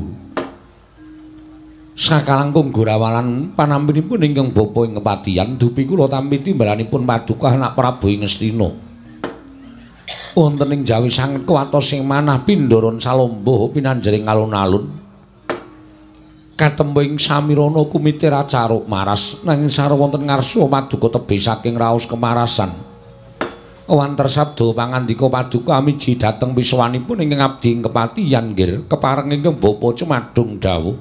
Nggih, paman. Kadiparan si paman ingsun percaya minangka dadi badal wakil ingsun. Meranata tata rakiting negari Ngastina. Paman Patih Haryo Sengguni. Nyawa-nyawa jimat kula, sesembahan kula wonten ing Madyapada. menawi paduka ndang bab tata rakiting praja sadaya mboten badhe anguci wani para kawula sami sayek saka kapti akarya luhuring nusa bangsa tuwi negari Ngastina medhaipun para abdi prajurit mboten kendhat anginipun sami kegladen ulah kridaning kaprang sawanci-wanci praja paduka katemping marang muga. Mboten badhe anggepok kanca paduka anak prabu. Ingkang bapa ing kepatihan remuk kasawurna putung sumangga kabandhem nonggir kawula nun paman mloso jenar nggih. Ndadosaken bumbung raos sing manah. Ora liwat pakaryan ingkang utama tindakno selawase. Lan diprayogakno anggenipun lenggah. Wonten ing dhatri negari Ngastina paman mloso jenar kawula nun nggih anak prabu sampun boten kirang prayogi. Piswanipun ing abdi kepatihan. Namung drenan sak samunipun keparang kula ngaturaken sembah. Sumengkeming pangabektinipun ingkang abdi kunjuk sandhapepada paduka anak Prabu Ngastina kula tampi karya bombong raos sing manah. Mboten langkung kasekecak nanggen cengandika lenggah paman mloso jenar. Kawula nun kalungguran sabda pangandika paduka anak Prabu Bawadurna Sarawu paduka bapa ing Sukalima katuran karaharjan rawuh wonten negari Ngastina bapa penembahan Bapa Menemban Durna. Ah, astaka swala sila berdobo swalu gimbal sumorante sumorante hawela hawela. Kula nuwun inggih, Nger. Tansah pinanganing kawidatan ring sambi kula sawanipun ing bapa ing Sukalima, mangga widodha sawan kula niskala. Namung parang kula ngaturaken salam taklimipun ing bapa kunjuk ngersa paduka anak Prabu Ngastina, Nger. Anak Prabu Duryudana. Sampun lo tampiak karya bumbung raos sing manah. mboten langkung kasekecakno anggen jengan di kula enggak bobo mrembantuna kula nan kula nan sampun mboten kirang prayogi piswanipun ingkang bapa ing Sukalima ngger anak Prabu Duryudana. Kakang Prabu Karna ing Awangga. Mugi kasekecakno anggen jengan di kula enggak wonten ing datlu ya Praja Ngastina Koko Prabu Koko Prabu Karna Basuka Sena kawula nuwun Yai. Sampun mboten kirang prayogi piswanipun ingkang Raka ing namung kepareng kula ngaturaken budya astutinipun ingkang raka kunjuk. Ngersa paduka Yai Prabu Kadang kula ing Ngastina Yai Prabu Duryudana kula tampi karya bombong raos sing manahipun ingkang rayi Ngastina. Mboten langkung kasekecakno anggen jengandi kula lenggah Koko Prabu Karna Basusena kawula nuwun sampun boten kirang prayogi pisawanipun ingkang raka ing Awangga dinten sak mangke menika Yai Prabu Yai Prabu ing Ngastina apa dene sira Dimas Kartomarmo prayoga nunggone siadi ngadep ngarsane pun kakang Dimas Kartomarmo. Oh, lho, lho, lho, diweji. Sampun boten kirang prayogi piswanipun ingkang rayipun Kartomarmo. Namung dren sak samunipun kemarang kula ngaturaken sembah sumengkeming pangabektinipun ingkang abdi kunjuk sanda pepodo paduka Kanjeng Koko Rabu. Wis dak tampa. Siadi atur sembah kelawan pun kakang ora liwat pangestrinipun kakang Tampanono. Kula pun jimat paripih dayanana ing kasantosan paring maestu paduka kanjeng Koko Prabu amawahana kabagyaning gesang kula lan tatanen sanggaring Purwadyabala ing bodhang gantung sibu jeneng manirana diambabarake wigati ning pasewakan Kartomarma. Oh lho lho lho menapa sampun paduka dawuhaken badhe kula candhi nggo jimat kanjeng Koko Prabu jimat sembahan kula Nun mangke yang Kanjeng Hyang Mahatma Siwara Bisma. Sarawujeng andika Kanjeng Hyang ingkang wayahing Ngastina pun Duryudana ngaturaken pasegahan pun ngrami kunjuk sandha pepodo paduka Kanjeng Hyang. Kanjeng Hyang Mahatma Siwara Bisma sesembahan kula Kanjeng Hyang. Ong Mastu Nama Sidam sekaring bawana langgeng. Iya iya, Putu Prabu. ndak tombak karya bombong penggaling puniyang ing ngetal kondo. Puniyang ngompo atur paseganing putu Prabu Ngastina. Akarya bombong penggaling puniyang ora liwat amung salam takliming pun yang kunjuk ngesaning putu Prabu Ngastina. Kula tampi kula cancang bocah ngene dumaweng wijang rumah keting saestu andadosaken cahya nur cahya daging rah kayuwanan kanjeng yang yo kurupati muga-muga Gusti ngijabahi kang dadi pengendikaning putu Prabu Ngastina ndadosaken kagiat ara sing manahipun ingkang wayah pundur yudana dene Rawu Paduka Kanjeng Hyang ingkang sengkan-sengkan datan pepoyan.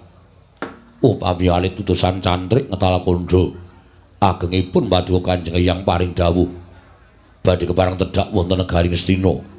Saestu ingkang wayah nedya metuk tindak Paduka mawirata kencana saha nyawisaken Hermawargi Naruyamiji ampian Paduka Kanjeng Hyang. Kacihna tandha bektinipun ingkang wayah dhateng jengandika Kanjeng Hyang ing ngetala kondo. Kanjeng Hyang Mahatmur Siwara Bisma. Duryudana wonten timbalan. Nadyan nembe kawiyos sing pangandikan wae persasat kaya wis kejugrukan wukir sari kelepaning samudra madu penggaling pun yang ngetal kondo. Nanging tumrap pun yang tata upacara ning kaprajaning kemengkono mau ora sak trepe lamun sira pisungsungake kelawan yang ming kental kondo. Sabab ngene iki. puniyang kuwi ngrumaos ngrumangsani jejer putra bumi. Aku kuwi ngrumangsani yen to Ngastina kuwi bumi kelairanku. Nadyan wiwit nomaku wis ndedhepok ana ing Ngetalkanda nanging aku ora bakal iso ngiklasake kelawan bumi kelairanku. Mula pendak-pendak puniyang sowan mongko tanpa tali para kelawan Putu Prabu ngibarate kaya dene kebu ingkang mulih marang kandange. Kasinggihan mekaten ya mung kaya beda kahanan ingkang dak weruhi dina samengko iki. Liripun benten kados pundi? Bareng puniyang ngancik ana ing kutha Goro negara Ngastina. Ana ing alun-alun nganti tekaning kutha Goro, pinajang ngumbul-umbul sarta gendera reruntek. Saka rumangsaku Ngastina bakal duwe gawe. Tumuli kaslak nata ling penggaling puniyang ngawuningani apa to kang dadi wigatine. dene mengkene kahanan kutha Goro-negara Ngastina. Pun yang wanek-wanekake munggah ning Datulaya. Lah kok malah kepasang yuk katuju ing inu. Dene Putu Prabu Kurupati nedeng anake pasewakan ingkang beda kelawan adat ingkang wis putu wonten dawuh. Marata Cupuyen keparengake pun yang nyejo nuwun pangandikaning Putu Prabu. Iki eneng apa? lan bakal ana lakon apa ning negara Ngastina. Lah kok dadi yang mengetal kondo ora ngawruhi. Yen pancen kepareng mbok wedharake ana ing Datulaya lan dimirengake sanggaring para nayaka Punggawa, pun yang nyadong dawuh. Nanging yen to wadi tumraping para sentana nayaka Ngastina. Duryudana wonten timbalan. Ayo, tak derekake manjing jroning kedaton pepanggihan catur nitra kelawan eyangmu ngetal kondo. Eyangmu mung kepengin ngawuningani apa to kang dadi darunane? Dene mengkene kahananing Projeng Ngastina kulup Kurupati. Handrah ingkang besita rum.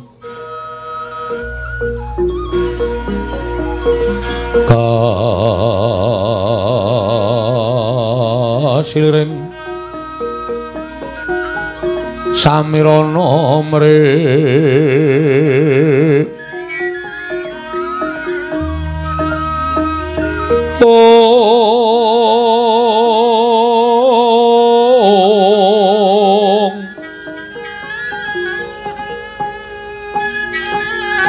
sekar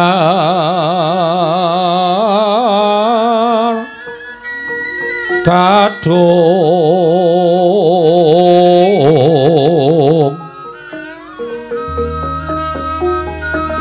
oh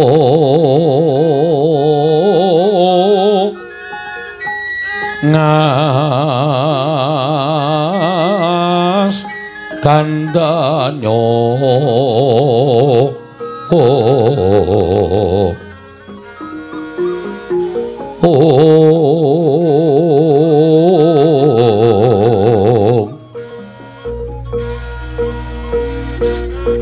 maweh raras renaning driya oh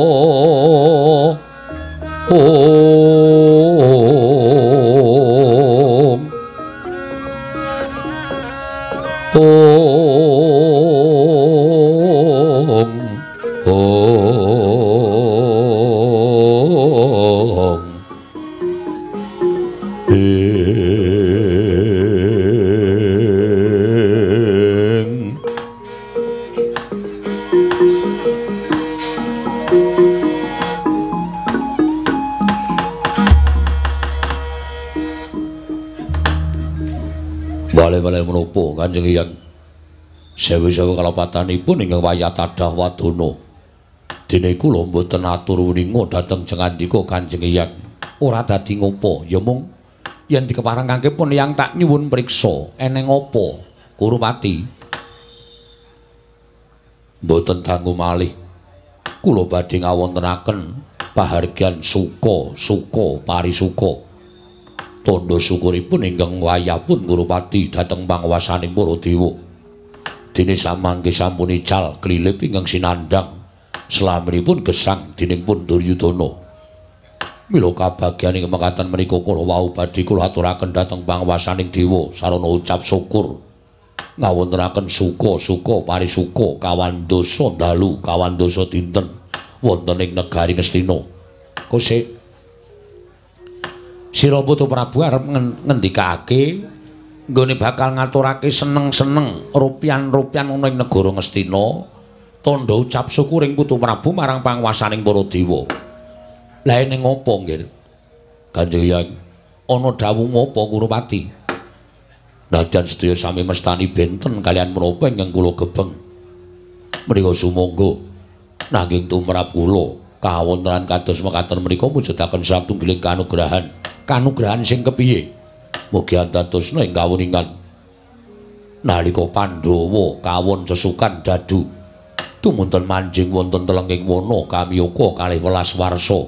setunggal warsa umpetan Kanjeng Hyang kula nampi pawarta ingkang damel bingah raos sing manah kula bila dinten samangke Pandhawa sampun sirna wonten telenging wana kamiyaka kabungane mekaten menika kula wau badhe kula aturaken dhateng panguwasaning para Jawata sarana kula badhe ngawontenaken remen-remen wonten negari Ngastina i i i latala Pandhawa mati kok malah kowe seneng-seneng ki janjane nalare piye? Hm? Iki. Coba pun yang tak takon marang Putu Prabu. Yen pancen ning kabar Pandhawa mati ning telenging wana Kamiyaka, kok Putu Prabu malah seneng-seneng, malah rupian-rupian. Saiki aku tak nyuwun priksa dasarmu apa? Dasar kula maton nggih mawon. Maton sing kepiye? Krana sedaya sami merstani bilih kula lan kawula kadang Pandhawa menika tasih tunggil daging adaging. Tegesipun tasih tunggil sederek. Namung sumangganipun badhe mestani.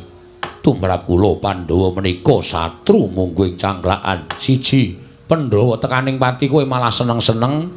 Angka loro, Pandhawa mbok anggap satru tumaping Kurawa. Mora aku tak takon karo Putu Prabu dasare apa? Dasaripun Pandhawa tansah ngucik ke Prabu Ningestina. Mila kula remen menawi Pandhawa dinten samangke dados tiyang buangan kalih welas warsa tumunten dados tiyang umpetan setunggal warsa menika adamel tentrem raos sing manahipun pun Duryudana langkung-langkung sampun wonten kabar bilih Pandhawa sampun pecah. Wonten telenging wana Kamyaka menika ndadosaken bingah. Raos sing manah kula tegesipun. Boten badhe wonten tetiyang kang badhe. Angagru-agru angugrak-ugak dhateng kawontenanipun Duryudana. Anggen kula dados narendra wonten negari Ngastina Kanjeng Hyang. Ila jagat dewa bathara jagat pangestu ngara dadi yen upama tak petung yen upama tak gelar tak gulung Pandhawa lembok anggap mungsuh mau mung perkara Pandhawa bakal ngucik ke Ngastina sira putu Prabu kawatir yen Pandhawa njaluk negara Ngastina kasinggihan mekaten lah saiki aku tak takon upama Pandhawa njaluk negara Ngastina kuwi Ngestina iki darbeke sapa? Ih, mriku kagunganipun Kanjeng Rama Dastarastra. Sadurunge wong tuamu dadi ratu, sing dadi ratu ya kuwi anakku si Pandu. Wong tuamu ki mengentuk titipan negara.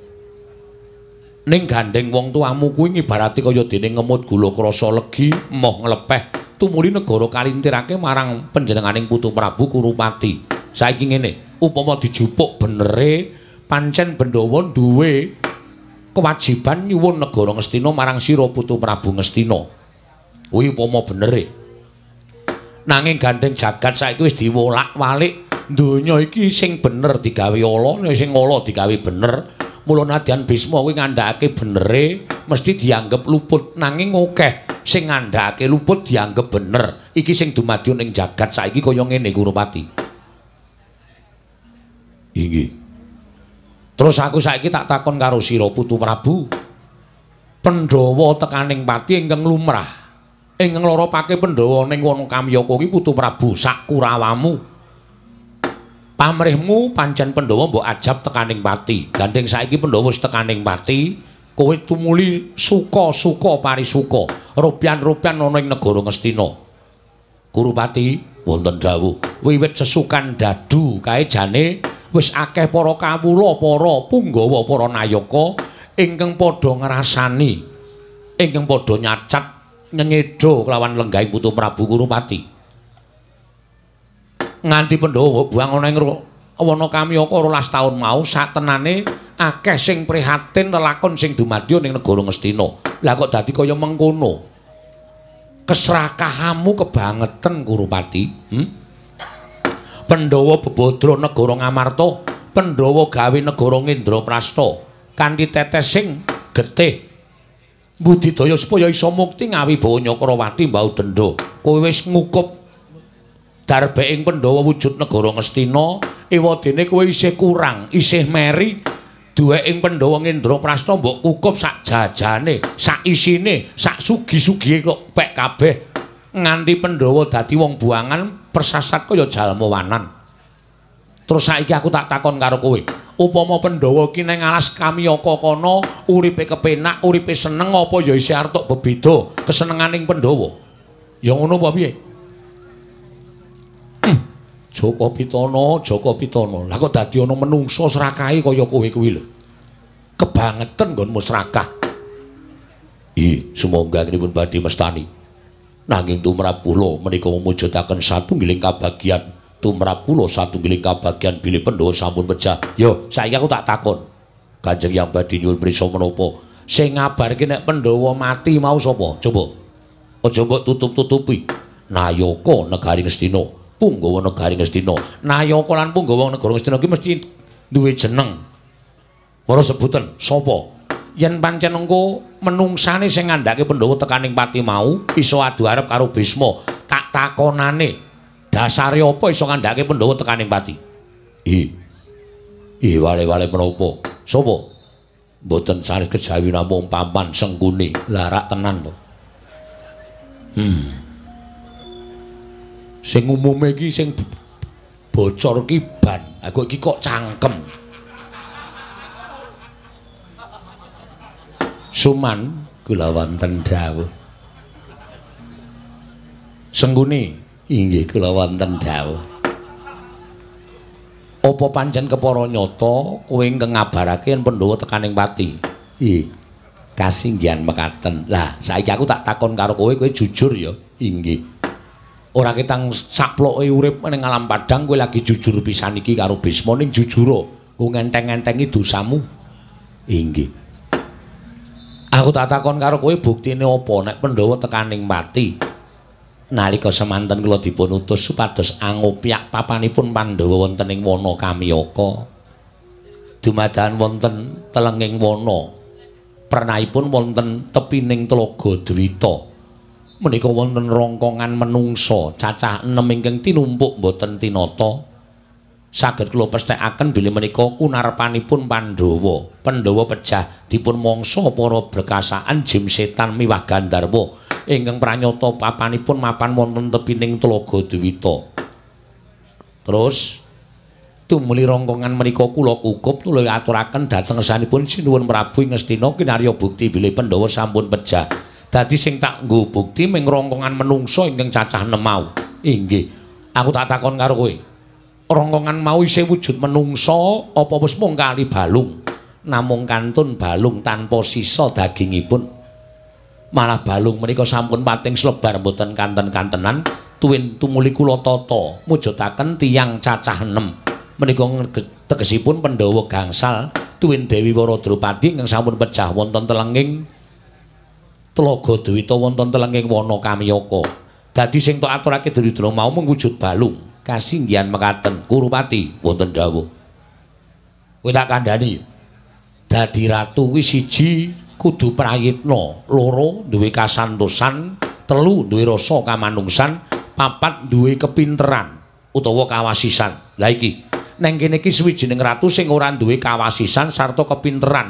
Mula kowe gampang diblithuk dening wong-wong sak kiwa tengenmu. Liripun Paduka Kanjeng yang paring dawuh mekaten. Coba aku tak takon.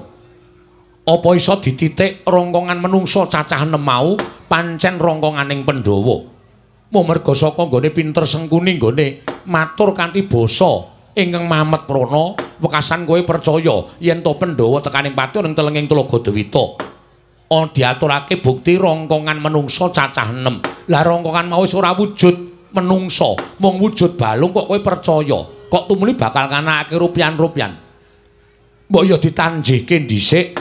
Yen perlu kami yoko diopyak tepung gelang kekalangan. Yen pancen Pandhawa ora ketemu, tegese pancen kuwi kunarpaning Pandhawa. Ning sapa ngerti, kuwi kunarpane wong kang mapan ning telenging wana kamiyaka. Mongko dudu Pandhawa ingkang tumuli mati ning tepining Tlaga Dewita. Urwati. Inggih. Paman kados pundi? Menawi kula kok menika tetep rangkonganipun Pandhawa. Paman saged mendika mekaten dasaripun menapa? Dewi Wara Drupadi menika rangkonganipun piantun setri menika balungipun alit-alit. Inggih. Tumuli ngengangka kalih rongkonganipun Prabu Puntadewa menika nuwun sewu tinata racak sami kalian balungipun titah semantah. Ingkang angka kalih menika rongkonganipun Raden Werkudara menika balungipun ageng-ageng. Dasaripun piyaninipun dik gung aluhur godhek wok simbar jojo. Wasipun rongkongan menika sampun sak mangke sampun dados bukti bilih Pandhawa sampun pecah. Paduka anak Prabu sampun ngantos menggalih bab-bab ingkang boten saged ngaturaken buktinipun. Nuwun sewu. Kula rencange mlebet wana kamyaka menika totoh nyawa lunggir. Kula ngaturaken rongkongan cacah enem kula boyong saking wana kamyaka menika ugi totoh nyawa. Menapa paduka anak Prabu Diridana mboten pitados kan menapa ingkang kula aturaken nggih. Kula nuwun sewu. Turta menika dados kabagyan panjenengan. Turta menika dados satunggiling kanugrahan tumraping anak Prabu Ngastina. Mataun-taun anggen paduka anjangka pejahipun para Pandhawa. sak menika sampun kasembatan kok panjenengan tumuli badhe luntur kapitadosanipun namung wonten setunggiling brahmana ingkang munjuk atur bilih Pandhawa tasih gesang wonten ing wana Kamiyaka. Sak menika ngaten. Nuwun sewu pandhita brahmana ingkang ngendikaken nek Pandhawa tasih gesang menika kula aturi ngaturaken buktinipun. Buktinipun menapa? Luwih iso dipercaya buktine Patih Sengkuni tinimbangane ming bekti swara ora ana wujud. Kusik kusik Sengkuni kusik kowe tak tuturi. Nadyan ming swara ning iki nganggo dasar. Dasaripun menapa? Wiwit kowe ngandhakake yen to Pandhawa sarta Pandhawa kalah ning sukan dadulan kudu nglakoni tapa utawa dadi wong bangun ning 12 taun ning wana Kamyaka. Aku ki blas ora kuwatir yen Pandhawa bakal kasangsaya uripe. Lho, sebabipun ngene. Pandhawa ki wit cilik kulina saba ngalas. Pandhawa ki wiwit cilik kulina prihatin kulina tapa brata. Apa to sababe Pandhawa kok kulina tapa brata? Apa to kok sababe Pandhawa kuwi kulina prihatin? Kowe tak kandhani ya Suman, kabeh mau merga saka nggonmu sengit karo para Pandhawa, wekasan Pandhawa karo Kurawa mbok bendrik-bendrikke wiwit bocah. Nganti Pandhawa mapan ana ing telenging alas, mula ora aneh yen to Pandhawa wis lumrah sarta wis biasa yen to mapan ning telenging wana. Turta Pandhawa kuwi tumindake sarwa apik. Mula sapa wae ingkang tepung karo Pandhawa mesti rumangsa keputangan budi karo putu-putuku Pandhawa. Klebu Pandhawa mapan ning wana Kamyaka. Pandhawa ora bakal mati ngelih. Pandhawa ora bakal mati kapiran sebab Wana Kamyaka ki akeh para brahmana ingkang mapan telenging alas, ingkang padha keputangan budi kelawan para Pandhawa. Yen ngerti Pandhawa mapan ana ing telenging Wana Kamyaka, mesti padha paring dedaran kelawan para Pandhawa. Dadi Pandhawa ora bakal mati ning Wana Kamyaka. Ngerti? Nggih. Angka loro, nek Pandhawa mapan ana ing Karang Pradesan, wong-wong desa kuwi padha keputangan budi kelawan para Pandhawa. Merga Pandhawa kulina gula wentah sarta nularke ngelmu-ngelmu ing bab tetanduran kelawan para among tani. Yen Pandhawa mapan ana ing telenging negara, ratu sing mapan ana negara mau mesti kepotangan budi karo para Pandhawa merga tanpa disengaja yen ora Werkudara ya Janaka mesti tau tate gawe tentrem negara mau. Mula akeh negara sing padha kepotangan budi karo para Pandhawa. Inggih. Dadi upama kowe iki bakal ngukum Pandhawa tok jangka patine arep tok papanake menyang ngendi papan iki Pandhawa ora bakal tekaning pati.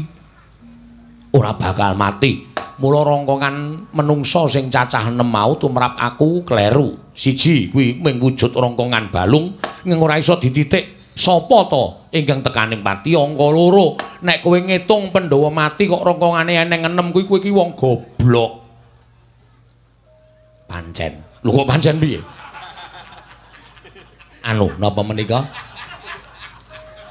Kula menika badhe nyuwun prisa kula kok dipun sebut goblok Pandhawa gangsal kalian Dewi Drupadi setunggal menika cacahipun 6 ora ora 6 ning ganepe ning 10 lho gak sebulo kula nuwun sewu. Piantun gangsal tambah setunggal kok sedaya menika. Menapa dipun mistik mistik dengkulmu mlocot kuwi. Pendhita kok jak rembukan mistik Nah bukan mesti karo Durna.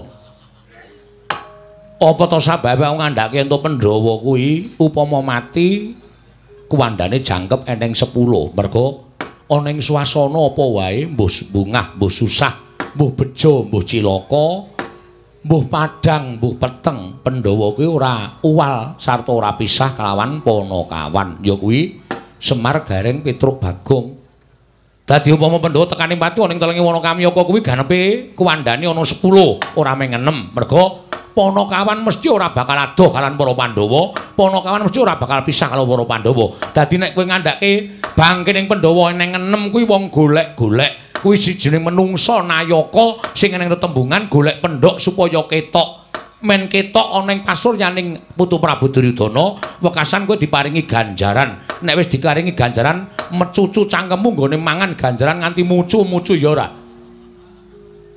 Pancen. Anu, menapa menika? Inggih mboten kados mekaten menika.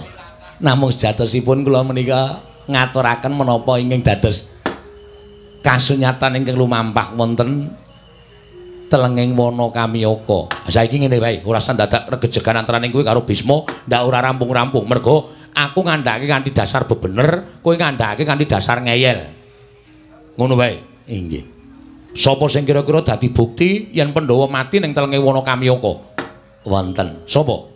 Kakang Premban Durna. Kakang Durna menika ingkang ngertos kula ngrukupi mori. Rongkongan cacah enem menika kala wau sinambi tawang-tawang tangis. Kuwi. Sing nangis kula. Mergi rumaos kecalan dateng para Pandhawa. Dadi seksine Durna iya seksinipun Kakang Mremban Durna. Iya ta Kakang Durna? Sing ngendi Dik Pate? Nuwun sewu lho sampeyan dadi seksi. Seksi bab napa? Seksi kula nemokke rongkongan Pandhawa cacah enem. Oh gondok bleguduk selalu gimbal sumarante sumarante hawala hawala kula nuwun sewu Depate menawi panjenengan dangu kalian kula kula kadhawan dados seksi kula nyuwun pamunten kula mboten saged ngaturaken jenyatanipun dados seksi menika awrat. Menawi kalian tu anggenipun munjuk atur malah samangke kula badhe nampi pidana saking anak Prabu Duryudana. Ning sampeyan weruh to weruh pancen sampeyan ngukupi balung-balung. Oke banget. Ning kula ya ora ngrahi to apa kuwi balung menungso apa balung kidang apa balung celeng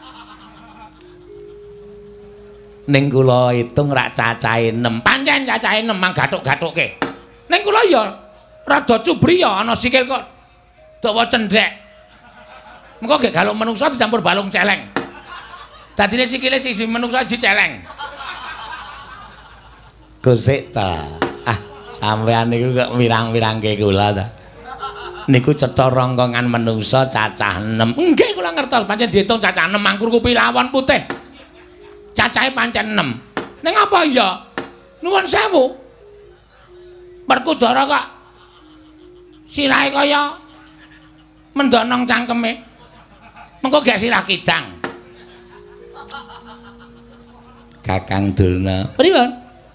Sampeyan wae ora pun nampa amplop ta? Sampun. Niku napa niku? Niku arta. Loh, kangge napa? Kangge tanda bukti bilih panjenengan sampun dados saksi. Saksi menika kedah ngaturaken menapa ingkang sampun kula rembak kalian panjenengan. Oh, nuwun sewu dados menika wau sogokan to. Nggih. Nuwun sewu Dik Pate, amplop menika sampun kasih kula papanaken wonten ing sak nginggiling lemari. Menawi panjenengan badhe mendhet kula aturi mendhet. Nuwun sewu kula menika pendhita ora mendem dhuwit. Kula menika pendhita ora iso disogok dening Brana Picis. Lah kok sampean kok nyogok kula nganggo wujuding Brana Picis, Brana Arta, men supaya kula dadi seksi. Mboten Pate, mboten. Durna, kula menten dawuh penemban. Ning kowe weruh